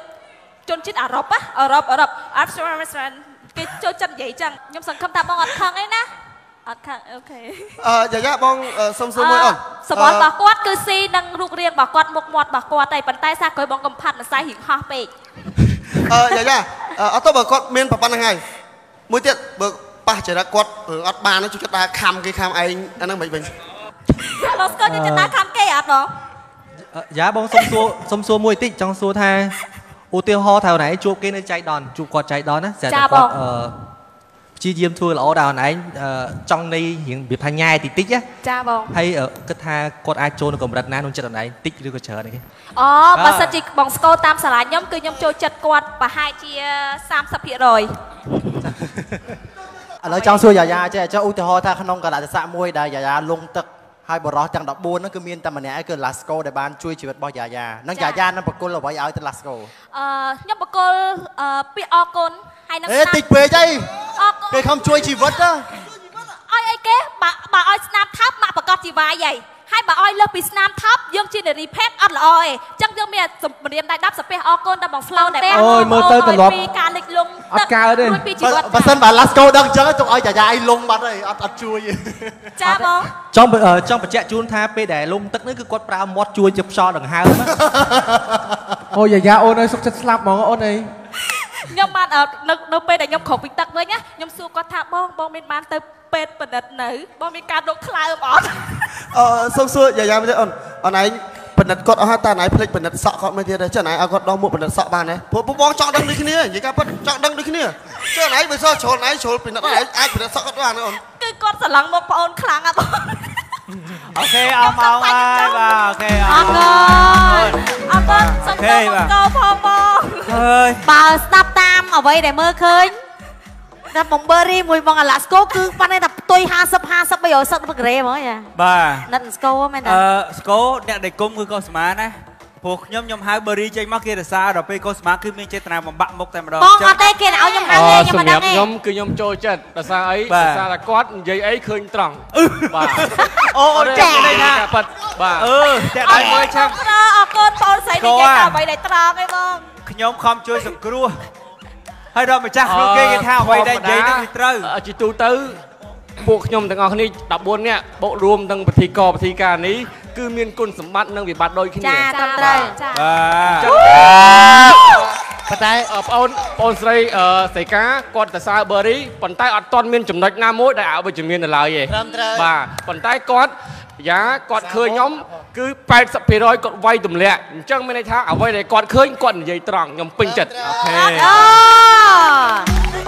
បាទចាអរគុណអូខេតោះ ត្រៀមនៅក្នុងការវោថាតើបេក្ខនារីទាំងពីរបេក្ខនារីរូបណាដែលអាចទទួលពិន្ទុបានច្រើនជាងគេវគ្គនេះសម្រាប់លទ្ធផលហើយបើអ្នកដែលបានច្រើនគឺដឹងឱកាសភាគរយជាប់ហើយណាចាបាទនេះខ្ញុំរាប់ជូនបាទមួយពីរបីបី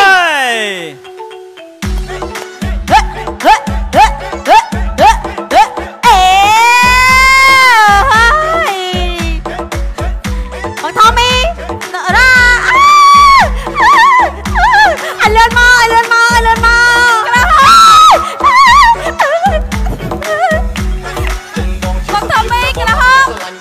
ថាមិនខុសទេស្រីព្រមទៅយកបងបងការពារអឺអូខេមុនគេទៅបរីមុនគេបរីដែលត្រូវបានគេសរសើរយើងមិនបោះឲ្យគេនេះយើងចូលចិត្តតែគេបង្អាប់ជាមួយក៏មិនអរគុណបាទបងរីហើយគិតថាមនុស្សធ្វើបន់ល្អវាចេះតែចូលបានផលល្អរហូតតែប៉ុន្តែនិយាយទៅអឺ មិនមែនសិតតការសរសើរទាំងអស់យើងអឺត្រូវចិត្តយើងទាំងអស់ហើយពេលខ្លះអឺគាត់សរសើរអញ្ចឹងមកហើយក៏យើងដឹងពីចំណុចខ្វះខាតរបស់យើងដូចគ្នាអញ្ចឹងដូចឡាស្កូក៏បាននិយាយអញ្ចឹងបាទថាមនុស្សម្នាក់ម្នាក់តែងតែមានចំណុចខ្វះខាតអញ្ចឹងណាហ្នឹងហើយប៉ុន្តែអរគុណមែនទែនបងបងស្រីដែលបានសរសើរបងហើយខាងយ៉ាយ៉ាគាត់បង្កឲ្យបរិយាកាសសុបាយច្រើនជាងអញ្ចឹងអឺអ្វីដែលខ្ញុំពេញចិត្តហ្នឹងគឺខ្ញុំខ្ញុំឃើញគាត់តែបង្កឲ្យបរិយាកាសឲ្យសុបាយច្រើនជាងបងខាងអឺអញ្ចឹងចង់សុំបរីជុំជុំខាត្រឡប់ក្រោយបរីឡប់មកវិញអូនអូនទៅប្រអាប់វិញខំ សរសើរបើមិនខំទេនិយាយទៅនិយាយកាប់ពិតទៀតណាទៅប្រអាប់វិញអូខេចា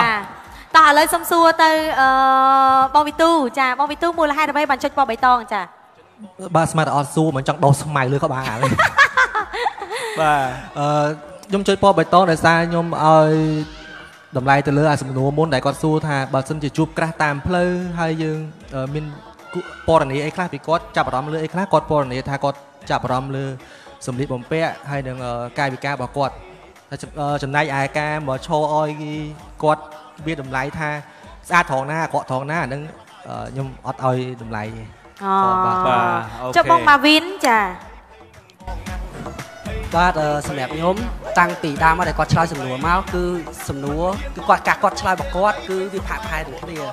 ហើយប៉ុន្តែគាត់ថាសម្រាប់ដូចឲ្យខ្ញុំបានដែលសម្រាប់ខ្ញុំដែលខ្ញុំចុចយកពណ៌ក្រហមដោយសារគាត់ជ្រើសដៃគូត្រូវ ដល់ពេលអញ្ចឹងបង្កខ្លាចជាភាពបរិយាកាសសប្បាយអញ្ចឹងខ្ញុំវោដៃគាត់បាទបាទអូខេចុះនរ៉ាហេតុអីបានបោះឲ្យពណ៌ក្រហមអឺសម្រាប់គាត់ទាំងពីរគាត់បបកបរិយាកាសសប្បាយដូចគ្នាប៉ុន្តែអឺបែកកានេរីពណ៌ក្រហមគាត់បង្កើតភាពសប្បាយខ្លាំងដោយសារគាត់និយាយត្រង់ដោយវីស្កូនឹងអាក្រក់គឺថាអាក្រក់ហ្មងចុះក៏អាក្រក់មិនថាអាក្រក់ស្អាតមិនថាស្អាត បាទអញ្ចឹងបានយកមកឥឡូវនិយាយមិនវិញឥឡូវនេះអាក្រក់មិនអាក្រក់ឲ្យស្អាតមិនស្អាតគេថាបើរីស្អាតគេថាស្អាតគេមិននិយាយត្រង់ខ្ញុំខ្ញុំពេញចិត្តត្រង់គាត់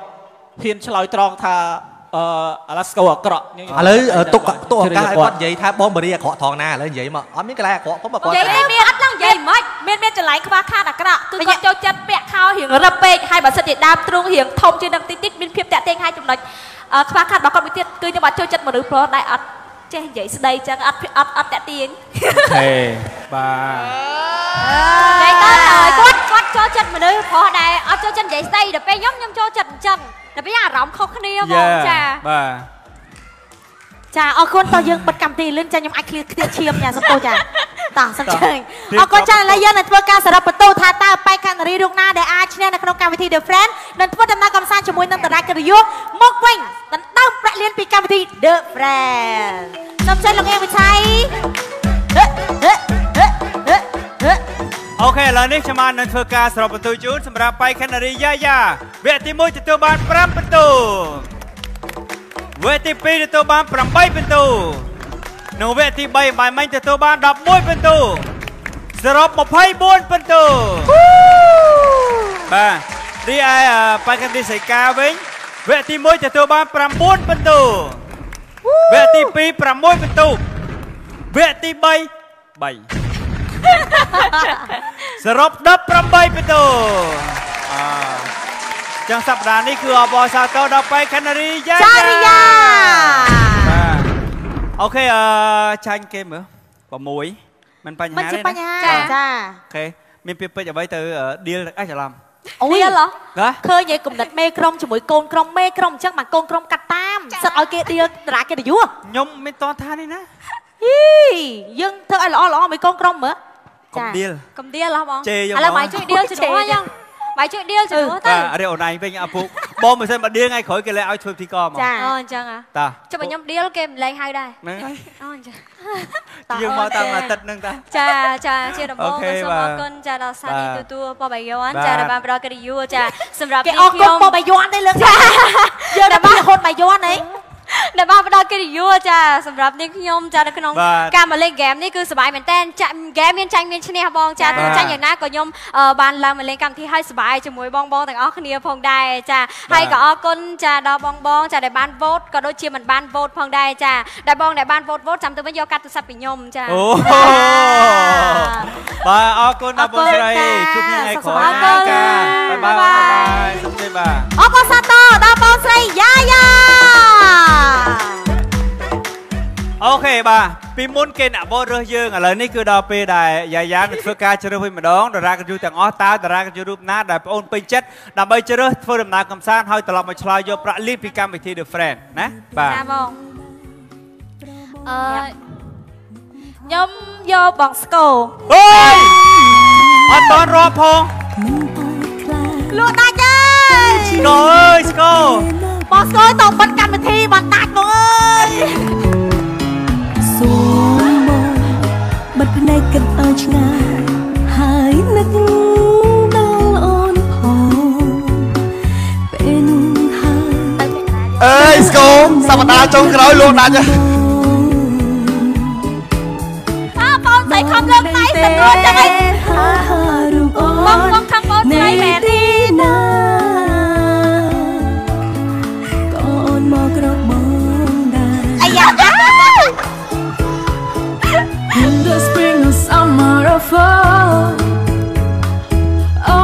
All you have Okay. to do is cry សូមសួរតារាកញ្ជូមួយរាល់សប្តាហ៍មិត្តភ័ក្តិដទៃទៀតដែលគាត់បានរើសដំណើរកំសាន្តដូចមិនសូវសប្បាយដល់ហេតុអីបានវគ្គហ្នឹងដូចលាដូចលក្ខណៈលាទៅបំរើជាតិហ៎បាទអឺដោយឡែកខ្ញុំកម្មវិធីរៀងលេចធ្លោបាទហើយអូយហើយក៏ជាតារាកិត្តិយសដែលចាំស្រុកជាងគេបាទគេហៅថាតារាកិត្តិយសចាស់វស្សា តាមពិតមែននិយាយអ្វីដែលគួរឲ្យចាប់អារម្មណ៍បងស្គរគឺជាអឺតារាកិត្តិយសមួយរូបដែលពេលដែលគេដាក់ទៅគាត់អត់ចេះតបតគឺគាត់បាទតែតែញញឹមអត់ចេះប្រកាន់ចាអត់ប្រកាន់បាទតាមគាត់មានចំណុចពិសេសហើយរាល់គ្រប់កម្មវិធីរៀងរាល់ដែល The Friend របស់យើង គឺអាឡាស្កូភ្លាវរហូតចាភ្លាវគ្រប់ពេលបាទចាតែបងស្គរគឺជាមនុស្សល្អតែនៅក្នុងផ្ទះគាត់ពីចោលមានតែរូបអាសនៈណា ដើម្បីចាក់ចាក់ធ្វើអំពើអានេះចាកុសមានឹងតែកុសកុសមាបាទបាទតែឃើញមានរូបកុសមាមួយដែរបាទគាត់ដែរឬថតដល់អាវទៀតធ្វើរូបដល់អាវទៀតចឹងបានយប់ឡើងខ្ញុំចិត្តតែក្តោបកុហកហាយរហូតបាទចា៎អរសូមតើបងស្រីយាយាហេតុអីបានជ្រើសយកលោកអាឡាស្កូបាទអឺខ្ញុំគិតថាបងស្គរគាត់អាចមើលថែប្អូនស្រីបានព្រោះអីគាត់ជាបងប្រុសដ៏ល្អបាទតាំងពីយូរបាទមកហើយហើយប្អូនស្រីសុំទោសបាទអឺបានឈឺឈឺបានចាំចាំប៉ុន្តែនេះគឺជាអ្វីអឺប៉ុន្តែនេះគឺជាការពិត បាទចាហើយហើយលោកលោកអាឡាស្កូទទួលយកការពិតដែរមិញអឺខ្ញុំស្វាគមន៍នឹងរីករាយគ្រប់ពេលអ្វីដែលគាត់និយាយគឺត្រូវសឹងតែ80%ឆ្ងល់ឡាអត់មនុស្សអត់ចេះខឹងហ្មងព្រោះជាការពិតពេលដែលគាត់និយាយហើយគឺគាត់បែបចំណុចល្អវិញតែគាត់ថាតម្រង់មុខគាត់គឺបែបជាលក្ខណៈអឺរ៉ុបមិនមែនជាកូនកាត់ខ្មែរទេអញ្ចឹងគឺគាត់មានតសោមានប្រអាប់គាត់ថាចំណុចអាក្រក់បងស្គរមានច្រើនបាទ អត់ទេនេះនិយាយអ្វីបាទហើយសម្រាប់អេហើយសុំមួយទៀតដែលគាត់តែសារថាកាត់អឺរ៉ុបហ្នឹងណាចា៎អឺរ៉ុបអឺរ៉ុបបែកខាងសមុទ្រអាសមុទ្រចុះទូករត់ពីស្រុកណាទៅនៅស្រុកផ្សេងចាអរគុណច្រើនអូចាអត់ទេតែសារលោកឡាស្កូបាញ់មិញបើសិនបើយើងនិយាយអាចប៉ះអ្នកផ្សេងអាចខឹងណាអត់ចិត្តពេលដែលបើខ្ញុំក៏ខឹងដែរបាទព្រោះអីធម្មតាអឺបងស្រីគាត់អឺបាយ concept មានន័យថាគាត់ឆ្លាតដើម្បីយកបន្ទុកបានគាត់បដូរការរសារទៅជាការប្រអាប់ដើម្បីយកបន្ទុក តែពេលហ្នឹងអាឡាស្កូគាត់ក៏ញញឹមសោយរហូតចេះទប់ជាប់ណាអឺបើសិនជាគាត់តសើខ្ញុំច្រើន ជាងបង្អាប់ខ្ញុំក៏បដិសេធដែរអឺអ្វីដែលគាត់និយាយគឺខុសអ្វីដែលគាត់មើលឃើញអូខេបាទចាអញ្ចឹងមកខ្ញុំពេញចិត្តគាត់ថាអ្វីដែលគាត់ឃើញសូមឲ្យគាត់និយាយឲ្យទាំងអស់បាទហើយបើសិនបើបងអូនស្រីទៅសើក៏14នាក់ទៀតគេបាញ់វិញដែរបាទចាអញ្ចឹងប្រអាប់ត្មងទៅចាប្រអាប់ភាសាដូចគ្នាទេចាបាទអរគុណដល់ Lasco និងយ៉ាយ៉ាជូនពលដំណើរកំសាន្តឲ្យសប្បាយរីករាយត្រឡប់មកវិញឆ្លើយសំណួរយកប្រាក់លេខពីកម្មវិធីរបស់យើងណាបាទអូខេលោក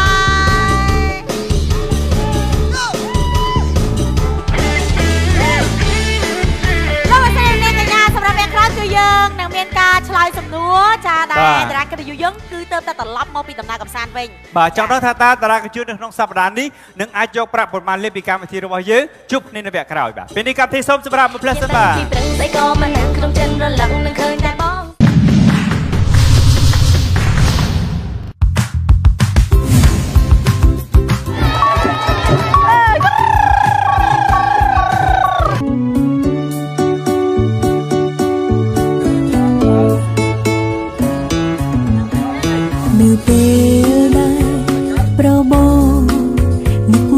ខ្វល់ខ្វាយតែអញ្ចឹងបងឮថាណៃអ្នកបតមកមកខ្ញុំអ្នកតពោតាបងនិយាយទៅមានសុខណាត់ដល់នឹងផ្ទាល់ហ្មងកើតនៅនឹងហ្មងកាត់នឹងមកហ្នឹងចំណាហើយយកំកើតឡុនៅងណាក្នុងវិញនៅអឺនិយាយទៅនៅទីរួមខេត្តនៅចំនៅចិត្តផ្សារសាទអាតារីហ្នឹងឯងមានហ្នឹងហើយហ្នឹងហើយនៅចិត្តតរេនហ្នឹងបងនឹងមិនមាននិស័យទៅមួយអ្នកបពតហ្នឹងមិនមាននិស័យនោះមានន័យថាម៉េចបាញ់និស័យចាត់ថា មិនទៅនេះក៏ត្រូវកាត់ទៅទៅនេះក៏ត្រូវទៅជួបអ្នកបកពពោតតឲ្យមានស្រឡឹងឃើញស្រីស្រីកពោតអីចឹងអត់និយាយចំដែរនិយាយចំព្រលឹងណាស្រឡឹងណាអត់ព្រលឹងណាស្រីណាស្រីណាបាទបងឯងធំឲ្យវែងចឹងទៀតវាថាបងឯងមានមានខ្ពស់ឲ្យវែងចឹងណាធំចឹងណា និយាយទៅសម្រាប់ខ្ញុំខ្ញុំចូលចិត្តណាមនុស្សប្រុសធំវែងចឹងចូលចិត្តហ៎បងចូលចិត្តមនុស្សស្រីមានមានសាច់អីជូរជូរទូទូចឹងមានសាច់នេះលក្ខណៈធំធំណាអឺធំណាស់ណាសួរអោបហ្មងនឹងសួរអោមកសម្រាប់ចំណាប់អារម្មណ៍ខ្ញុំបាទដែលបានមកដំណើរកម្សាន្តជាមួយម្ដាយគូមានអារម្មណ៍ថារំភើបសប្បាយរីករាយហើយប្លែកប្លែកនៅក្នុងចិត្តមែនទែនព្រោះហើយខ្ញុំបានជាមនុស្សម្នាក់ដែលអត់សូវបានដើរលេងច្រើនគឺចឹងគឺចូលចិត្តធ្វើការ ហើយពេលថ្ងៃចូលចិត្តលេងកីឡាអីទៅទូទៅប៉ុណ្្នឹងឯងហើយអត់ដែលបានមកដំណើរកម្សាន្តនេះហើយលើកទី1ដែលដែលខ្ញុំបាទបានមកដើរលេងលក្ខណៈជាធីមការងារក៏ដូចជាមានដៃគូមិត្តថ្មីដែលត្រូវសិក្សាពីគ្នានៅក្នុងកម្មវិធី Friend មកពីទិសខាងជើងសូមបងកុំក្បត់នឹងខ្ញុំហើយហើយឈ្មោះខ្ញុំឲ្យឆ្លើយ ពេលនោះហើយដែលអូននៅនេបនឹង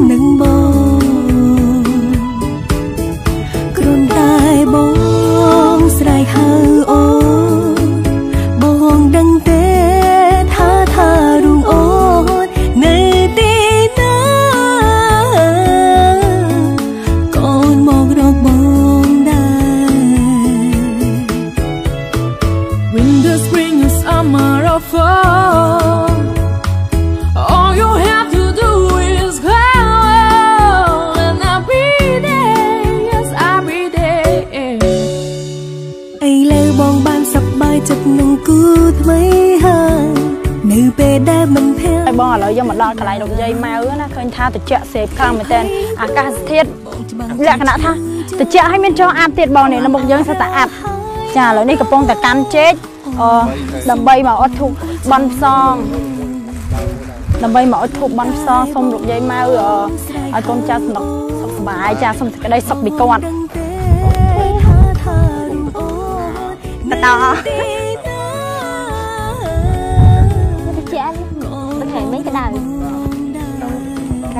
តែមិនតាដល់លើនេះទៅជាក់ជុំ Winter, spring, or summer, or fall. All you have to do is call,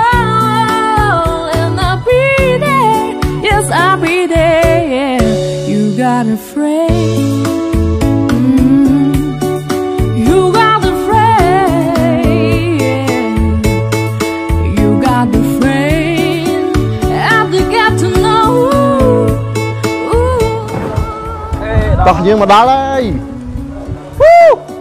ជាក់ស្រួលណាតោះអូនហេតោះ let's go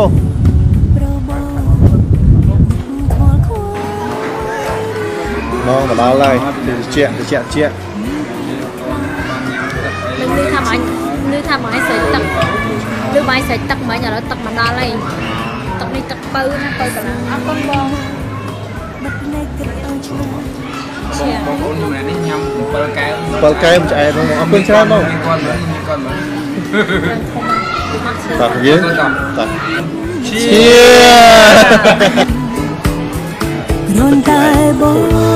ងស្រ័យហៅ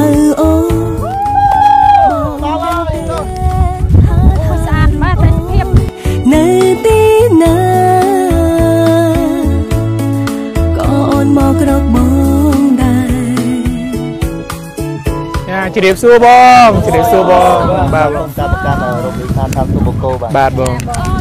ទៅបងតង់គេតិចអឺអឺសម្រាប់តង់យើងខាងក្រោយនេះគឺជាប្រភេទយើងមានតង់ពីរប្រភេទតង់ប្រភេទតង់ VIP ដែលយើងឃើញខាងធំធំនេះបាទតង់តូចសម្រាប់មនុស្ស2នាក់តែតង់ធំគឺគេបាន4នាក់បាទ4នាក់សម្រាប់តង់ធំយើងឃើញបាន4នាក់ចុះ VIP នេះមានគេខ្លះក្នុងហ្នឹងបងសម្រាប់សម្ភារៈគឺយើងចង់អឺមាន ពូកហើយនឹងភួយវ៉ាវអូមកតង់បាន4នាក់បងណោះអឺស្តង់ដាររបស់យើងអឺដែលប្រមូលកំណត់ហ្នឹងគឺ4នាក់ប៉ុន្តែបើសិនជាអឺសម្រាប់ពលរដ្ឋភ្ញៀវដែលមានឆ្លាញ់ទាំងឯងមេអាចជាបានអាចជាផងដែរបាទសុំ4នេះតិចបានទេបងបាទបាទបាទបាទចាំតិចចាំតិចបាទមកអត់ចូលអត់ទេខ្ញុំស្រើទៅគាត់វិញស្រើចង់ទៅគេងហ្មងអូចឹង បាទហ្នឹងហើយយន្តនឹងចង់គេងនឹងជាងនេះបាទវ៉ាវស្អាតណាស់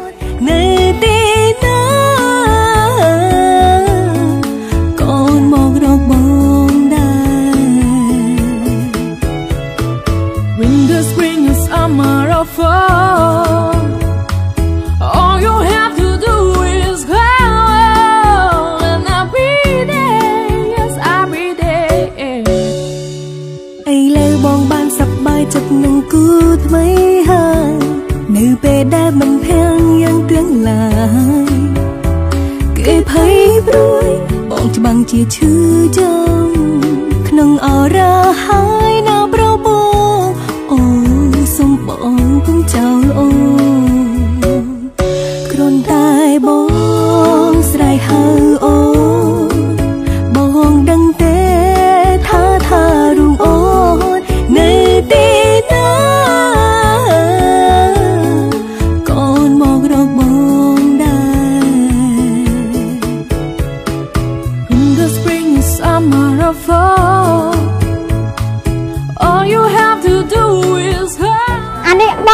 សម្រាប់ធ្វើអីចូលទៅទៅមុខទៅក្រោយហ៎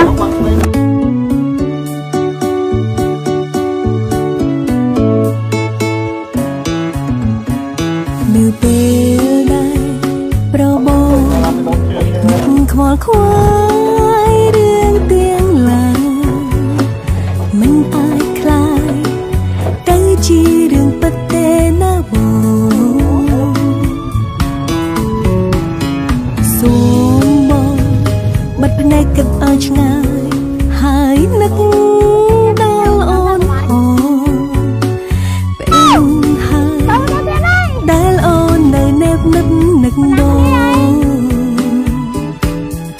គ្រាន់តែបងស្រ័យហៅអូនបងដឹងទេថាថារូបអូនមកចូលរួមកម្មវិធី The Brand នេះជាលើកដំបូងហើយក៏មានអារម្មណ៍ថាសប្បាយរីករាយក្នុងពេលអឺបានមកចូលរួមបានធ្វើដំណើរមកខេត្តកំពតហើយអឺទៅលេងនៅភ្នំបូកគោបានបោះតង់និយាយទៅមានអារម្មណ៍មួយថាប្លែកពួកអត់ដែរ មកចូលរួមវាថាបោះតង់គេងបោះអីចឹងគឺមានអារម្មណ៍ថាប្លែកមែនតើហ្មងណាយើងផងគ្នាញ៉ាំអីជុំគ្នាទី1ទី2ការធ្វើដំណើរតាមផ្លូវក៏មានបងបងលោកពូអ្នកមានគាត់ធ្វើគឺថាបើកបរហ្នឹងក៏គាត់អធិស្ឋានគ្នាទៅវិញទៅមកផងដែរអត់ទាន់អត់ទាន់គេបោះលឿនគេទៅហាត់អត់ទាន់នេះឯងក្បាលវាដាក់ក្បាលវា ប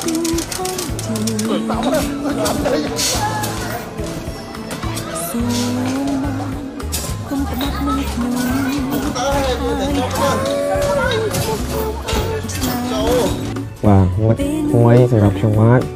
អឺសម្រាប់គាត់ខ្ញុំបាទមើលទៅគាត់គឺមានចំណុ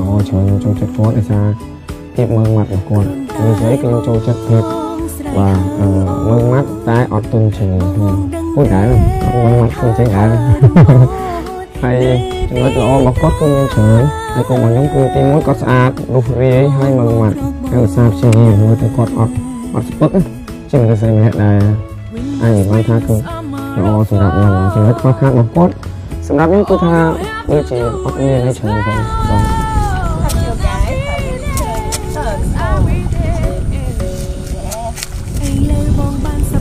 ខកខក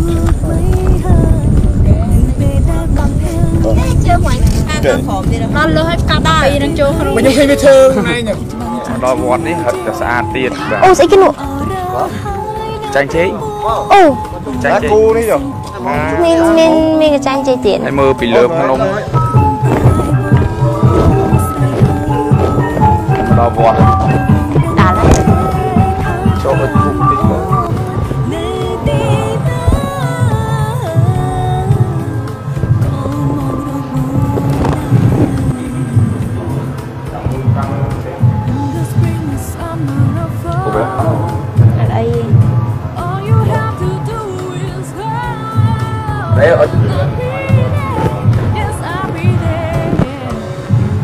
đơn nhìn lại từ lửa nữa មានអីខ្លះ khác នឹងអី bây giờ rong tha rong khoa này đi តែមានតែប៉ុនមានតែកកលនេះទេតែជាមិត្តទឹកចិត្តតាមតា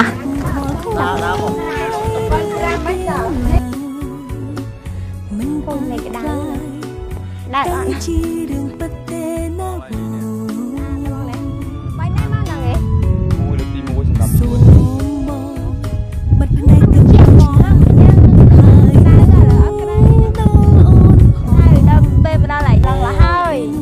អូមើលមើលមើលពីលើទៅក្រោមណានិយាយទៅបើសិនជាយើងមើលពីលើទៅក្រោមវិញឃើញថាឃើញកូនផ្ទះទូចទូចប៉ុន្តែបើសិនជាយើងចុះទៅដល់ផ្ទាល់នៅខាងនៅខាងក្រោមវិញគឺឃើញធំប៉ុន្តែមើលពីលើទៅវាឃើញតូចតូចហើយតែឥឡូវយើងមិនអឺមកមកភាកហ្នឹងឯងជាមកភាកទៅខាងលើនេះតែបើកលេចទៅខាងនេះខាងលើនេះគឺយើងមកវត្តសំពៅ5ហើយអឺបាយមានឃើញអត់ឃើញថាមានរូបចម្លាក់សំពៅថ្មដែលថាថ្មមានមានសំពៅមួយញែកញែកគ្នាអញ្ចឹងណាមើលដឹងសំពៅមើលដឹងអត់អត់ បើបងមើលដឹងព្រោះថ្មហ្នឹងមើលទៅគឺរៀងសំពៅហ្មងបាទព្រោះអីចេញមកគឺរៀនសំពៅហ្មងព្រោះអីវាស្ដួចក្រោមបាទហើយមានពនាងរំសាយសក់គឺនៅកណ្ដាលការពិតអឺអឺរឿងហ្នឹងវាមានតាំងពីយូរលង់ណាស់មកហើយតាំងពីសម័យដើមប៉ុន្តែអឺរូបចម្លាក់ហ្នឹងគឺអឺលក្ខមានន័យថាគឺអឺរក្សាលក្ខលក្ខណៈថាគេរក្សាឲ្យកូនចៅជំនាន់ដើមបានឃើញអញ្ចឹងណាដោយពពហើយពេលដែល ខ្យល់បក់ពីខាងជើងសូមមក nè ស្អាតរបស់គេឃើញហ៎ស្អាតដល់ពេលគេអាប់ដេតទៅមើលទៅស្អាតខ្លាំងមានសួនច្បារមានកញ្ចុះអង្គុយលេង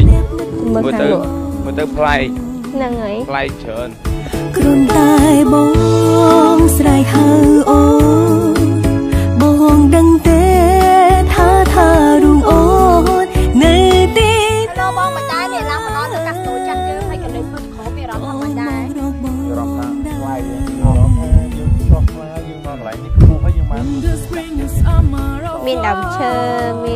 ពណ៌ខៀវច្រើនកម្មនេះមិញហ៎បានដេញឡើងមកលើមិញហ៎ហើយឡើងត្រជាក់ដេញតាំងពីវត្តសំពៅ5រហូតដល់ដល់ហ្នឹងគេតើឥឡូវយ៉ាយើងនឹងបានឆ្ងាញ់ណា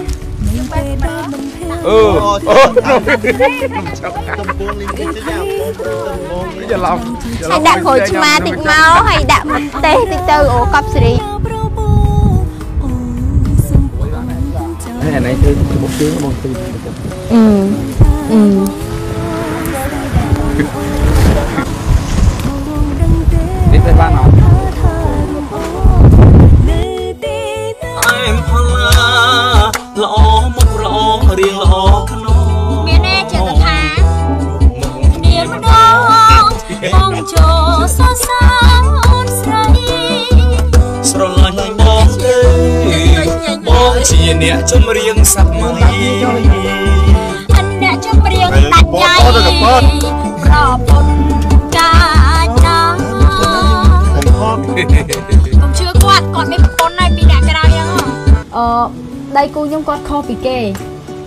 គាត់អឺពេលដែលទៅដើរលេងនៅបូកូបោះចម្រុងបោះចម្រុំហើយពេលដែលចុះពីលើឡានជិះពីពេញមករហូតនិយាយពីពេលជិះពីពីពេញមក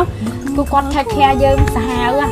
take care សាហាវអីដោយសារអីខ្ញុំជាមនុស្សមួយដែលថាចូលក្នុងឡានទៅគឺពលនិយាយមិនចេះអឺពលឡានខ្លាំងណាស់តែពេលអញ្ចឹងទៅចូលទៅដល់គាត់អឺអូវ៉ាលីគាត់ជួយលើកឲ្យវ៉ាលីធ្ងន់ណាគឺដាក់កាអាទៅច្រើនហើយវ៉ាលីហ្នឹងវាធ្ងន់គាត់ជួយលើកជួយអីយើងសពគ្រប់ហើយជីឡានមកដល់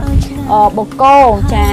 ជីឡានមកដល់បូកូ ចុះពីលើឡានចុះពីលើអីហ្នឹងគាត់ជួយលើកវ៉ាលីហើយជួយក្បាលជួយអីអញ្ចឹងគាត់ជួយ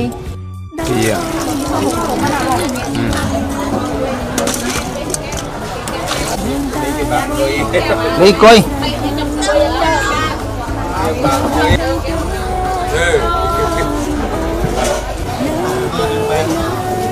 បានតាមមើលមិនគាត់បានទ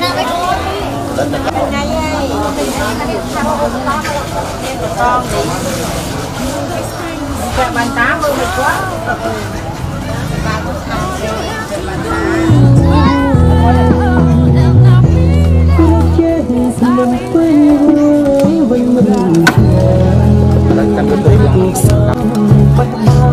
tôi đồng một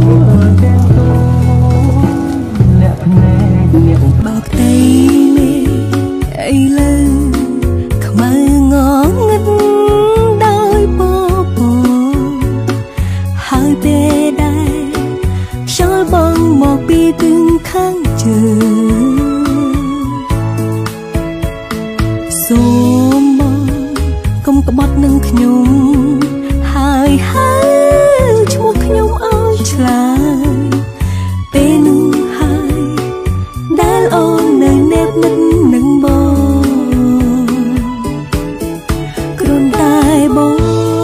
ដោតទេនេះពងដោតនេះឯង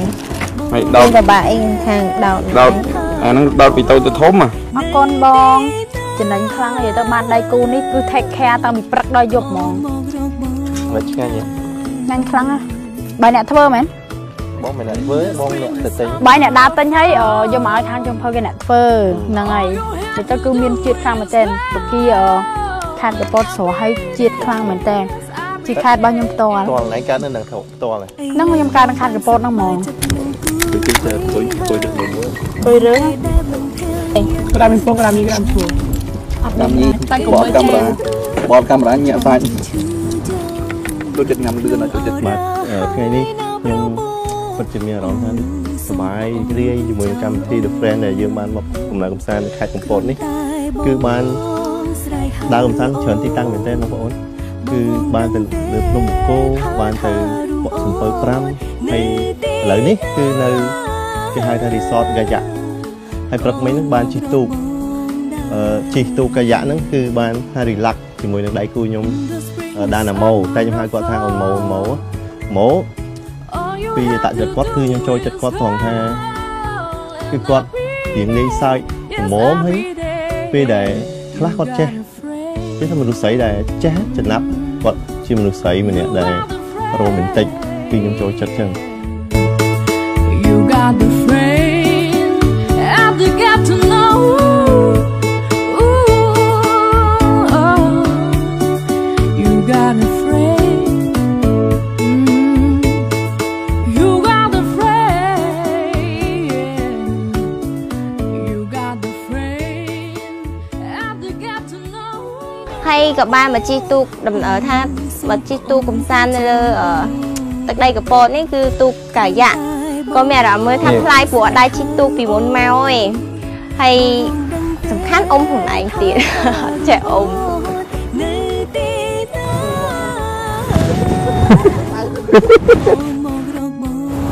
កកមែនកកមែន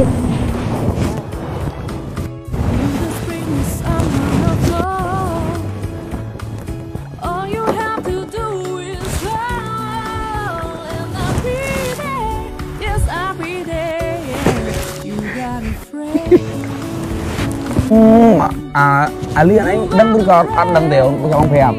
អាហ្នឹងមិនមែនកដងទេគេគេហៀយមកពីសន្ទូចយល់អត់ជួយអុយបងណប់អឺ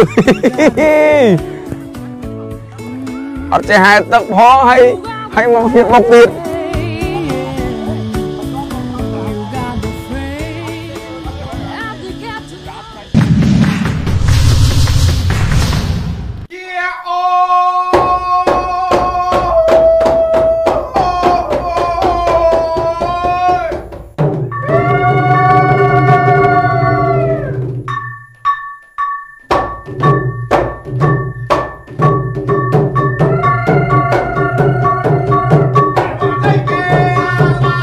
សម្រាប់ស្ត្រីមេផ្ទះគ្រប់រូបបាទសូមស្វាគមន៍ជាបន្តមកកាន់កម្មវិធី The Friend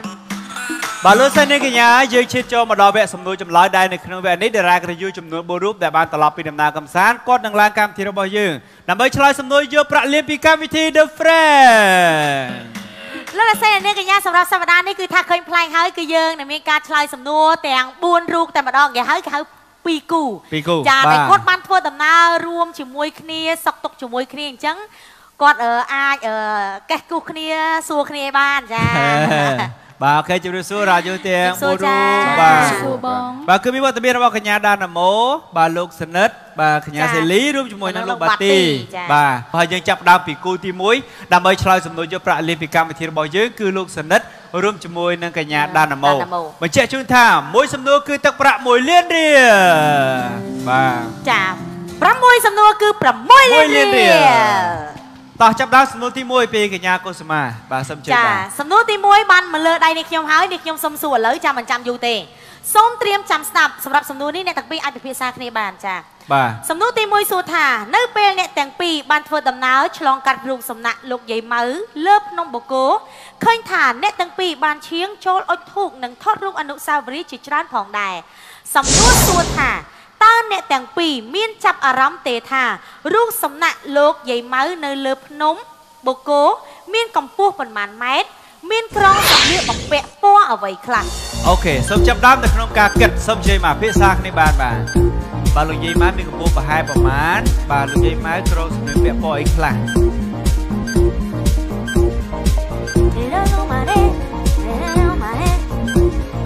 អូ ខេសូមត្រៀមចាបាទខ្សឹបតិចខ្សឹបតិចមិនមែនខ្សឹបពិភាក្សារឿងដូចនិយាយដើមគេចាតោះអូខេដល់ម៉ោងហើយបាទតាសូមចាប់ផ្ដើមឆ្លើយសូមសូមចាប់បញ្ជាក់ផ្ដើជូមនថាចម្លើយតែឆ្លើយហើយគឺហាមផ្លាស់ប្ដូរណាមកនរណាគេស្ម័គ្រចិត្តឆ្លើយសូមត្រៀម1 2 3ឆ្លើយហេតុអាចឆ្លើយម្ដងទៀតបានណាចាសម្រាប់អទៅមួយកម្ពស់លោកយាយម៉ែនអីលោកយាយលោកយាយម៉ៅចាកម្ពស់40ម៉ែត្រ40ម៉ែត្របាទហើយស្លៀកមានពាក់ពណ៌សម្លៀកបំពាក់ពណ៌ស បាទមានអឺពានាពាក់ឈៀងពានាពានាអឺពានពានាពណ៌ផ្ទៃមេឃតតេមេឃសពតពណ៌លឿងអូខេសូមត្រៀមថាតើចម្លើយនេះជាចម្លើយដែលត្រឹមត្រូវដែរឬទេ សូមគុំការងាររបស់យើងបង្ហាញចម្លើយ ចាមិនត្រឹមត្រូវទេសូមចូលរួមសោកស្ដាយបាទចាសម្រាប់កម្ពស់វិញគឺ29ម៉ែត្របាទចាដែលមានសម្លៀកបំពាក់ពណ៌សខៀវនិងឈៀងពណ៌លឿងបាទគឺសម្ពុតពណ៌ខៀវអាវសពានាពណ៌លឿងបាទគឺជាចំណេះដឹងមួយសម្រាប់បងប្អូនผู้ភាគច្រើនយើងធ្វើដំណើរឆ្លងកាត់លោកយាយម៉ៅឲ្យធូបប៉ុន្តែបានចាប់អារម្មណ៍ទេ អញ្ចឹងអឺពាក់ព័ន្ធនឹងរូបសំណាកលោកយាយម៉ៅនៅលើភ្នំបូកគោគឺមានកម្ពស់29ម៉ែត្រនិងមានសម្លៀកបំពាក់បាទដែលលោកយាយម៉ៅក្រងគឺមាន3ពណ៌សម្ពុតពណ៌ខៀវអាវពណ៌សនិងពានាពណ៌លឿងអូយបាត់មួយលានរៀលហើយវាច្រើនបាទពានាដែលអឺខាងដែលដូចជាលោកតាឬក៏លោកយាយអីដែលខាងគេហៅថាសិលបាទវាច្រើនគឺឈៀងពណ៌លឿងគឺតំណាងមាសតំណាងមាសពណ៌មាសចាពបាទណ៌មាសខ្ញុំច្រឡំសពតជាមួយនឹងអាពានាចាបាទវិសត្រូវបាទចាអូខេវិញមួយលាន បាត់1លានប៉ុន្តែសង្ឃឹមថាសំណួរទី2អ្នកទាំងពីរនឹងអាចយក1លានត្រឡប់មកវិញណាសំណួរទី2សូមស្ដាប់ឲ្យបានច្បាស់សំណួរសួរថាស្រះទឹកមួយនៅលើភ្នំបូកគោដែលក្រុមការងារបានបោះជំរំស្នាក់នៅថ្ងៃដំបូងនោះគឺជាស្រះទឹកធម្មជាតិតែត្រូវបានក្រុមហ៊ុនកសាងទំនប់ទឹកសម្រាប់យកទឹកទៅប្រើប្រាស់នៅលើតំបន់ភ្នំសំណួរសួរថាតើទំនប់ទឹកនោះត្រូវបានបញ្ចប់ការសាងសង់នៅឆ្នាំណាបាទ ឃើញឯងនៅទៅបោះតង់ពេកអត់គិតដើរសើបសួរបើខ្ញុំមិនគ្មានដីគ្មានពួនទេដើរសួរអ្នកភូមិពេកហ្នឹងហ្មងចាមានភូមិណាបើនៅកដាលព្រៃនោះអត់មានទេហ៎ខាងបៃក្នុងស្ងាត់ហ្នឹងបើសួរសួរក៏សួរអ្នកនៅខាងអឺតែលអូតាតាដឹងក្រុមការងារនៃការពារគេស្គាល់ហើយហ្នឹងហើយចាអូខេតោះត្រៀមបាទតោះ1 2 2 3 3អឺនៅឆ្នាំ2014 2014អូខេ ថាតើត្រឹមត្រូវដែរឬទេអាចដែរណាព្រោះអីបើសិនបើនិយាយទៅអឺបូកគោគឺសម្ពោធក្នុងចា៎កំឡុងឆ្នាំផាផែនោះហើយសង្ឃឹមថាអឺទំនប់ទឹកហ្នឹងក៏សាងសង់ហើយផាផែនេះដែរអញ្ចឹងចង់ដឹងច្បាស់សូមក្រុមការងាររបស់យើងបង្ហាញចម្លើយសូមជ័យបាទ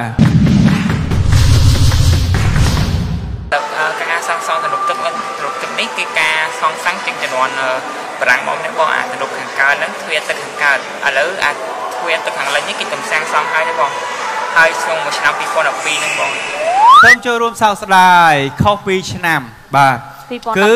រឿយរាល់នៅក្នុងឆ្នាំ2012អត់12ហ៎សាបាទ2016អូយខុសពីឆ្នាំហេតុអីបានឆ្នាំ2014លោកសន្តិតបាទអឺខ្ញុំបានមើលដែរក្នុងកន្លែងនៅទំនប់ទឹកគេមានផ្លាកអូមួយខ្ញុំចាំដែរប៉ុន្តែខ្ញុំអត់ច្បាស់អូ អូជួនខេកាល2014ហ្នឹងចំថ្ងៃដែលគាត់ខួបកំណើតគាត់សង្សារអញ្ចឹងណាគាត់ចាំថ្ងៃហ្នឹងចាក៏បដូរទៅថ្ងៃនោះហ៎ចាបាទអូខេសង្សារ2លានធ្វើឲ្យរសាយបាត់នេះបាទរំសាយបាត់ពីរអ្នកទាំងពីរហើយมันជាបញ្ហាឥឡូវយើងអាចយកទឹកប្រាក់នៅសំណួរទី3ណោះចាបាទសំណួរទី3សួរថានរណានរណាក៏ល្បីល្បាញពីរុក្ខជាតិម្យ៉ាងដែលមាននៅលើភ្នំបូកូរុក្ខជាតិនោះមិនត្រឹមតែមានរូបរាងចម្លែកទេ ក៏អាចយកមកប្រើជាឱសថសម្រាប់ព្យាបាលជំងឺផងដែរសំណួរសួរថាតើរុក្ខជាតិនោះមានឈ្មោះអ្វីអូខេបាទសង្ស័យអាសង្ស័យរុក្ខជាតិមួយនោះអាសង្ស័យអាល្បីវិញហ្នឹងណាអូគេស្គាល់ណាមស្គាល់គេទៅថត selfie វិញហ្នឹងឃើញស្រីស្រី selfie ច្រើនចាប្រុសប្រុសហ៎តោះស្លែកគ្រាប់ស្លែកសំខាន់មកថារូបរាងចម្លែករូបចម្លែក រូបរាងអូរូបរាងចម្លែកហ្នឹងឯងទៅបើហ្នឹងហើយបាទអូមីក្អូនអត់ដែរមើលព័ត៌មានហ្មងនេះអូខេតោះត្រៀមនៅក្នុងការឆ្លើយអស់មកហើយ1 2 3រុក្ខជាតិហ្នឹងខ្ញុំតែឯងមានសិនខ្ញុំរត់ថតទៀតឈ្មោះអឺដើមរំដើមអរុបចាអូខេបរំផ្ទះខ្ញុំក៏មានដែរចាអើក្រោយផ្ទះខ្ញុំមកគោគេស្ព្រះគាល់ជាម្ចាស់ហើយមរុំនឹងស្លឹកក៏យកស្រកកោឲ្យដើមអីនេះក៏យកធ្វើថ្នាំមកមរុំ មិនត្រឹមត្រូវទេឥឡូវសូមក្រុមការងារបង្ហាញចម្លើយបាទសូមជឿបាទផ្កាបំពង់ក្រឡោមគឺផ្កាហ្នឹងរូបរាងដូចបរោះចឹងចាផ្កាហ្នឹងល្បីផ្កាហ្នឹងគេថត selfie អត់ទេមិនបើសិនបើឆ្លើយស្តៀងក៏ឲ្យដែរនិយាយតាមត្រង់ចាដល់ពេលឆ្លើយមរុំវាខុសដាច់ពេកមករំក្រោយផ្ទះខ្ញុំមានដែរណាបំពង់ប្រឡោមបាទកៅថាដើមបំពង់ សោកស្ដាយបាត់បង់បាទ3លានហើយហើយអូខេឥឡូវយើងឈានចូលដល់សំណួរទី4សំណួរទី4នេះគឺយើងសួរទៅកាន់កញ្ញាដាណាម៉ូអញ្ចឹងលោកសន្លិតសំបាយទៅខាងកុសុមាបាទអូខេសំណួរសួរទៅកាន់កញ្ញាដាណាម៉ូថាតើលោកសន្លិតខ្លាចសត្វអ្វីជាងគេតោះបងស្និទ្ធគាត់ខ្លាចសัตว์តុកកែហើយ អូខេនេះឃើញគាត់ក្បាលមិនដឹងត្រូវខុសទេដូចងក់ក្បាលอะសូមក្រុមការងារបង្ហាញចម្លើយគេច្រើនគេខ្លាចសត្វខ្លាសត្វពស់សត្វក្រពើអីចឹងណាតែខុសខុសគេតែខ្ញុំខ្ញុំតាមពិតខ្ញុំក៏ខ្លាចដែរខ្លាពស់ក្រពើហ្នឹងសត្វកាយសាហាវដែរតែខ្ញុំខ្លាចមែនតើគឺសត្វតុកកែហ្នឹងហ្មងយេមួយលានរៀលអបអរសាទរចាតោះឥឡូវយើងបន្តតោះសំណួរទី5ចា សង្ឃឹមថាទទួលបាន1លានទៀតណា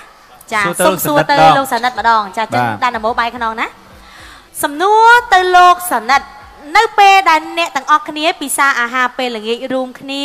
នៅថ្ងៃទី2អ្នកទាំងពីរបានជជែកគ្នាលេងដែលលោកសានិតបានដឹងហើយថាកញ្ញាដាណាម៉ូមានស្រុកកំណើតនៅខេត្តកំពត តែលោកបានបន្តសួរកញ្ញាទៀតថាកញ្ញាកើតនៅទីណា សំណួរថាកញ្ញាឆ្លើយដូចម្ដេចកើតនៅផ្ទះ ឬក៏ពេទ្យ5 4 3 2 1សូមចាប់ផ្ដើមឆ្លើយបាទសូមបញ្ជាក់មួយថាថ្ងៃទី2មិញថ្ងៃទីបាទថ្ងៃទី2ហ្នឹងបាយជជែកលេងជាមួយគាត់ហ្នឹងហើយក៏បានជជែកគ្នាថាបាយដឹងហើយថាគាត់ហ្នឹងកើតនៅខេត្តកំពតអញ្ចឹងគេចង់ដឹងថាតើកញ្ញាកើតកើតនៅនៅទីកន្លែណាងណាកើតនៅទីណាហើយជាចម្លើយដែលគាត់ឆ្លើយពេលដែលអូបងកើតទីណាបងនិយាយមួយគ្នាហ្នឹងចាតាទីឋានសុខដុម តាអឺទឹកឈូកើតនៅទឹកឈូតាមួយពីរបីកើតនៅអឺកើតនៅពេទ្យបាទអូខេតើនេះជាចម្លើយដែលត្រឹមត្រូវដែរឬទេឆ្លើយតាមខ្ញុំតាមួយពីរបីប្រឹងឲ្យចម្លើយបាទណោទៅខ្លួនណែទៅហ្នឹងហើយកើតនៅណែកើតនៅអឺកើតនៅលើនៅក្នុងពេទ្យនិយាយទៅអូយនិយាយមែនតើ អើយមែនណាសំបីតែខ្ញុំអត់ដឹងពេលហ្នឹងខ្ញុំអត់ដឹងថាខ្លួនឯងនិយាយអីខ្ញុំអត់ដឹងក្រុមមែនការងារសាហាវមែនទែនគឺជីកយកសំណួរដោយដោយគាត់ដឹងខ្លួនហ្មងខ្ញុំសង្សើរបើយើយើងងអអត់ត់ដឹងចាប់អាខ្លួនរម្មណ៍ឯងឯថាងខ្ញុំពេលហ្នឹងខ្ញុំខ្ញុំគិតថាខ្ញុំនិយាយខ្ញុំបាន Yeah. និយាយអីគេខ្ញុំគិតថានៅផ្ទះនិយាយពេលហ្នឹងខ្ញុំគិតថាខ្ញុំនិយាយលេងជាមួយបាទគាត់ទេខ្ញុំអត់ដឹងហ្នឹងថាខ្លួនឯហើយងឆ្លើយគេយកថានៅពេទ្យទេ Oh ឆ្លាត my ដល់ដៃ God គូខ្ញុំឆ្លាតណាស់បាទអូយប៉ាកែអរនេះមកពីខ្ញុំប្រហើបទេ ខ្ញុំប្រហើបនៅពេទ្យទេនៅផ្ទះមិញគាត់ចូលចិត្តនិយាយត្រង់ត្រង់ខ្ញុំចឹងស្គាល់ហ៎គាត់អញ្ចឹងខ្ញុំឆ្លើយតាមការគិតអូខេបាន2លានហើយអបអរសាទរសំណួរដែលមិនគួរណាចូលលុយបានសោះបាទសំណាងឲ្យបើសួរខ្ញុំសួរខ្ញុំថាកើតទៅណាចប់បាត់ហើយនេះគឺជាសំណួរពិសេសដែលជាសំណួរចុងក្រោយ សំណួរនេះបើមិនមានអ្នកចាប់អារម្មណ៍ក៏ឆ្លើយមិនចេញដែរសំណួរសួរទៅលោកសានិតដដែលថាតើកញ្ញាដានអូចូលចិត្តខោអាវក្នុងប្រភេទណាអូ យមើលទៅដើមធូងហ្នឹងបាត់ហើយអេងាប់ហើយជួនកាលវាមិនអាចបញ្ជាក់ដឹងតាមរយៈហ្នឹងបានទេគ្នាទៅប្រាប់ខ្ញុំតោះតោះសំណួរពិសេសមែនហ្នឹងហើយសំណួរហ្នឹង3សេះហើយតាណាម៉ូដល់អាសា5ហើយតោះបាទអឺសូមឆ្លើយអឺតាណាម៉ូគាត់ចូលចិត្តពាក់អាវប្រភេទអឺស្បៃលាយអាយ៉ាសិចស៊ីផងប្រភេទអឺបាក់អឺស្បៃលាយបាក់តិចតិចស្បៃលេខបាក់តិចតិចអូតើសូមក្រុមការងារបងឲ្យចម្លើយសូមចេញបាទ និយាយទៅសំណួរនេះចាក់ដោតខ្លាំងមែនតើបងបើសម្រាប់ខ្ញុំវិញគឺខ្ញុំចូលចិត្តប្រភេទអាវក្នុងអឺរបៀបថាលាយស្បៃបាក់លាយស្បៃតិចតិចយេយ៉ាសាច់អូបីសំណួរចុងក្រោយពាក់ព័ន្ធអំពីលោកសនិតនិងកញ្ញាដានណាម៉ូពីរនាក់ហ្នឹងគឺគាត់ឆ្លើយត្រូវទាំងអស់ចាចុងបញ្ជាក់ថាការធ្វើដំណើរកំសាន្តរបស់គាត់គឺគាត់ដើរលេងគាត់និយាយដើមពីគ្នាច្រើនជាជាងការចាប់អារម្មណ៍ពីរឿងរ៉ាវជុំវិញខ្លួន ចាបាទនិយាយទៅបាយមើលតែពីរអ្នកគាត់ទៅគឺពេលតនេគឺគាត់អត់មានទៅណាទេក្រៅពីអង្គុយនិយាយគ្នារឿងអំពីផ្ទាល់ខ្លួនចាបាទសូម្បីតែមុនឡើងកម្មវិធីគឺគាត់ដឹកដៃគ្នាទៅនិយាយដើមគ្នាចាអត់ទេបងកុសស្ម័គ្រគាត់និយាយត្រូវមែនបាទជិះឡានពីម្ពិញទៅនិ យាយវិថាមុខលុយហ្មងហ៎ពិភាក្សាគ្នារហូតអត់ដឹងមិននេះក្រុមគេគេងអស់ណាពីអ្នកនេះអូនណាណែគេងបងអត់គេងទេណាអឺទុកឲ្យបងអ្នកមើលផ្លូវជួយស្ដាំគីឡូម៉ែត្រកាត់តាំងពីស្ពានឡើងជិះកាត់ស្ពានប្រមាណស្ពានប្រមាណអូហើយសំណួរអត់ចាញ់សោះ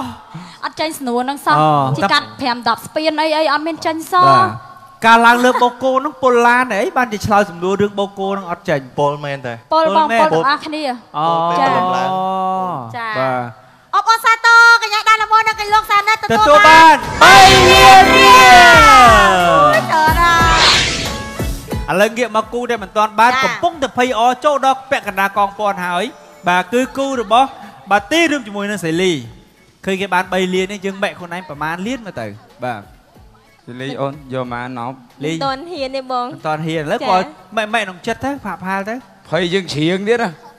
ជ្រៀងដូចមិនសូវភ័យជ្រៀង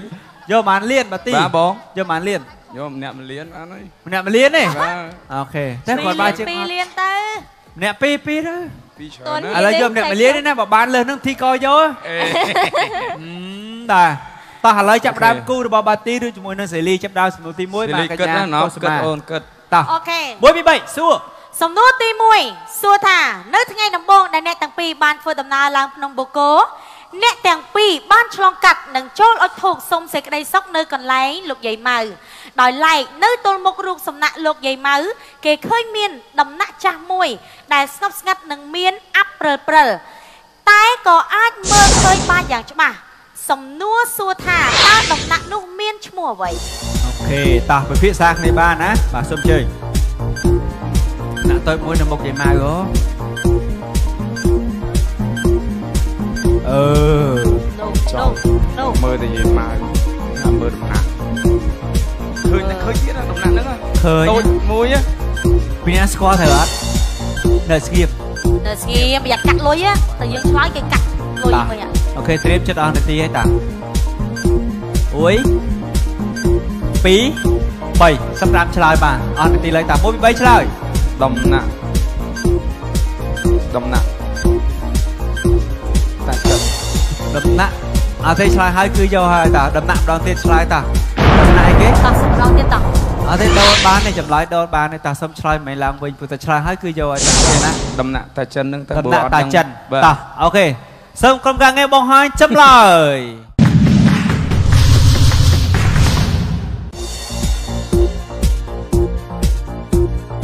សូមចូលរួមសោកស្ដាយមិនត្រឹមត្រូវទេបាទសម្រាប់ដំណាក់ គឺជាដំណាក់ស្លាខ្មៅចូលរួមសោកស្ដាយបងបាទីខណៈដឹងអត់ពីអ្នកនេះដឹងអត់មិញដឹងខ្ញុំប្រាប់គាត់ថាដំណាក់ស្លាខ្មៅហ្នឹងអូតែមិនច្រឡំមាត់ប្រហើទៅដែរតាគេត្រង់អត់ហេបានកុំឲ្យគេដាក់លុយមួយលានអត់ពេញប្រហើមែនអត់ទេអត់ហងបាទអត់ទេអត់យាយប្រហើទេកាត់លុយឯងក្រោយកាត់លុយក្នុងចិត្តក្នុងចិត្តអូក្នុងខេចិត្តអូនិខេយាយតោះសំណួរទី2បាត់មួយលានហើយសង្ឃឹមថានឹងយកមួយលានពីសំណួរទី2បានណាបាទហ្នឹងសំហើយណួរទីយើងអត់គិត រកសំណួរទេគិតតែដើរញ៉ៃគេអញ្ចឹងណា2សំណួរទី2សួរថា នៅពេលអ្នកទាំងពីរធ្វើដំណើរទៅវត្តសំពៅ5អ្នកទាំងពីរបានទៅដល់ស្រះទឹកមួយដែលមានរូបបដិមាធំមួយហើយបដិមានោះត្រូវបានហុំព័ទ្ធដោយបដិមាតូចតូចៗនៅជុំវិញសំណួរសួរថាតើបដិមាតូចតូចៗដែលហុំព័ទ្ធជុំវិញមានប៉ុន្មានអង្គអឺហើយបាទនេះហើយឡាជក់ចិត្ត selfie ទៅលើភ្នំអទេសភាពព្រៃ 3D ពីលើអឺភ្នំបូកគោទៅគឺស្អាតពីវត្តសំពៅ5ទៅតោះត្រៀមក្នុងការឆ្លើយ1 2 3 4 5ឆ្លើយតោះប្រហែលអង្គតោះចាំពេលបងលីគឺឆ្លើយ16 16អង្គអូខេតោះសឹកក្រុមការងាររបស់យើងបង្ហាញចម្លើយបង្ហាញចម្លើយបាន1លានឬបាត់1លាន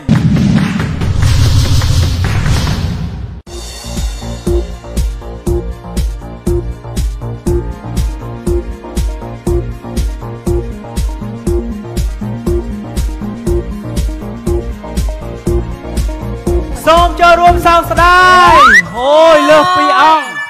តែ14អង្គទេសោកស្ដាយមែនតើគឺថាគាត់បានធ្លាប់ឈរអានទៀតចាឈរររាប់ទៀតចាឆាតែមកឆ្លើយ16មែនផ្លិចដែរបងយូររត់ដែររត់ទាំងធុងទឹកអីបាទមិននឹកឃើញមានធុងទឹកអីគេឆ្ងាយគេថា3 3 3 6 6អត់ទេសង្ឃសេលីរាប់តាមទិសសេលីអាចគិតមិញ8ទិសចឹងណាគុណនឹង2មកទិស2អីចឹងណា អូយបាត់មកលៀនទៀតហើយសោកស្ដាយមែនតើសំណួរទី3សួរថាឲ្យតែរំលឹកដល់កាស៊ីណូចាស់នរណាក៏បានដឹងនិងបានស្គាល់ច្បាស់ពីទីនោះតែក៏មិនសូវមានអ្នកដឹងនិងចាប់អារម្មណ៍អំពីប្រវត្តិនៃការកសាងកាស៊ីណូនោះឡើងមកដែរភាគច្រើនគេបានដឹងថាកាស៊ីណូនោះបានកសាងនៅសម័យអាណានិគមនិយមបារាំងសំណួរសួរថាតើកាស៊ីណូនោះបានសម្ពោធដំបូងនៅឆ្នាំណា បាទតោះសម្ពោធដំបូងនៅឆ្នាំណាបាទកាស៊ីណូចាស់ហ្នឹងបាទកាស៊ីណូចាស់ហ្នឹងណាសម្ពោធអូដំបូងនៅចាប់ដើមកសាងឲ្យសម្ពោធតោះត្រៀមឆ្លើយ1 2 3តោះយ៉ាងអស់នីតិណាតលុតអស់នីតិគឺចាត់ទុកជាសាងបង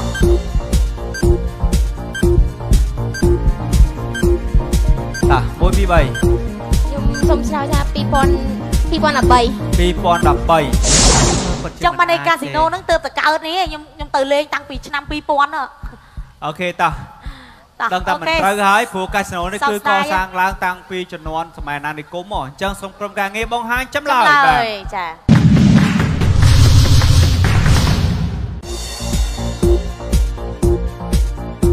ចូលរួមសោកស្ដាយបាទចាមិនត្រឹមសម្រាប់ត្រូវទេកាស៊ីណូនោះចាគឺសម្ពោធ ដំដំបូបូងងនៅចាឆ្នាំនៅឆ្នាំ1925ចុងពីរអ្នកនេះប្រកែកមែនដឹងរហូតចាមិនតែក៏ប៉ិតសួរបីសំណួរដែលសួរហ្នឹងគឺចេះទាំងអស់កុំអី6ចាលាកនលាប់ចាក់និយាយទៅអូយកុំអីសំណាងអូខេ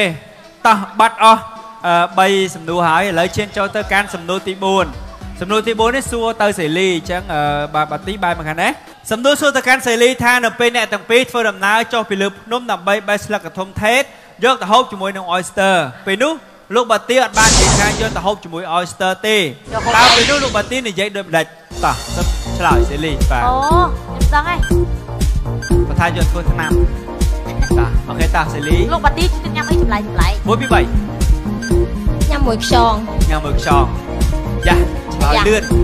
យ៉ាមិនលៀនតាមអត់ក្រុមការងារបង្ហាញចម្លើយសូមជ័យបាទ ឈប់ឈប់ឈប់ឈប់ឈប់ឈប់សួរតិចមើលថាកធំថេងនឹងយកធ្វើអីគេឆ្ងាញ់ជាងគេនំចុកអើយលោកកាយលោកអាហ្នឹងគេញ៉ាំមួយនំបញ្ចុកក៏ត្រូវដែរអត់ទេមែនតាត្រូវហើយតែតាមពិតពីច្រើនគេយកកធំទេញ៉ាំមួយនំបញ្ចុកហីហើគេយតែទៅយកញ៉ាំមួយខ្យងហីអើចាអត់ទេខ្ញុំដល់អត់ឃើញដែរហ្នឹងចាសោកស្ដាយ4លានត្រូវបានបាត់បង់ចារស័តអសត់ង្តែស័យទៅអាម្ឆ្នាក់ងាមកយលៀនមែនអត់មកទៅតោះតាសំណួរទី5សំសួរទៅលោកបាទីចាអញ្ចឹងសូមឲ្យសេលីបាយមកចេញតិចទៅណាចា សំណួរសួរទៅកាន់លោកបាទីបន្ទាប់ពីបានធ្វើដំណើរកំសាន្តរួមគ្នា លោកបាទីបានដឹងយ៉ាងច្បាស់ថាកញ្ញាស្រីលី គឺជា model មួយរូបដែលមានរូបរាងតូចច្រឡឹងស្អាត សំណួរសួរថា លោកបាទីមានចាប់អារម្មណ៍ចាប់សួរទៅកញ្ញាលីទេថាតើកញ្ញាលីមានកម្ពស់និងទម្ងន់ប៉ុន្មានគីឡូតាកម្ពស់និងទម្ងន់សង្ឃឹមថាឆ្លើយបានណាមកលៀនណាតោះកម្ពស់កម្ពស់ដឹងកម្ពស់ដឹង1ម៉ែត្រ68 68ទម្ងន់ទម្ងន់អត់ដឹងម្ដងទីអើយប្រហែលប្រហែលតោះមនុស្សស្រីទម្ងន់ប៉ុន្មានប៉ុណ្ណឹងប្រហែលប្រហែលតើលឿនលឿនខ្សែបាយប៉ុណ្ណេះបាទហើយហាងបោះសម្រាប់លឿនលឿនលឿនលឿន50លឿនលឿនលឿនលឿនលឿនលឿនហាម៉ាត់50គីឡូគុត50គីឡូគុតវាបែបណាគីឡូគុតគុតដូចវល់ទេក្រុមការងារសូមបង្ហាញចម្លើយសូមជ័យបាទ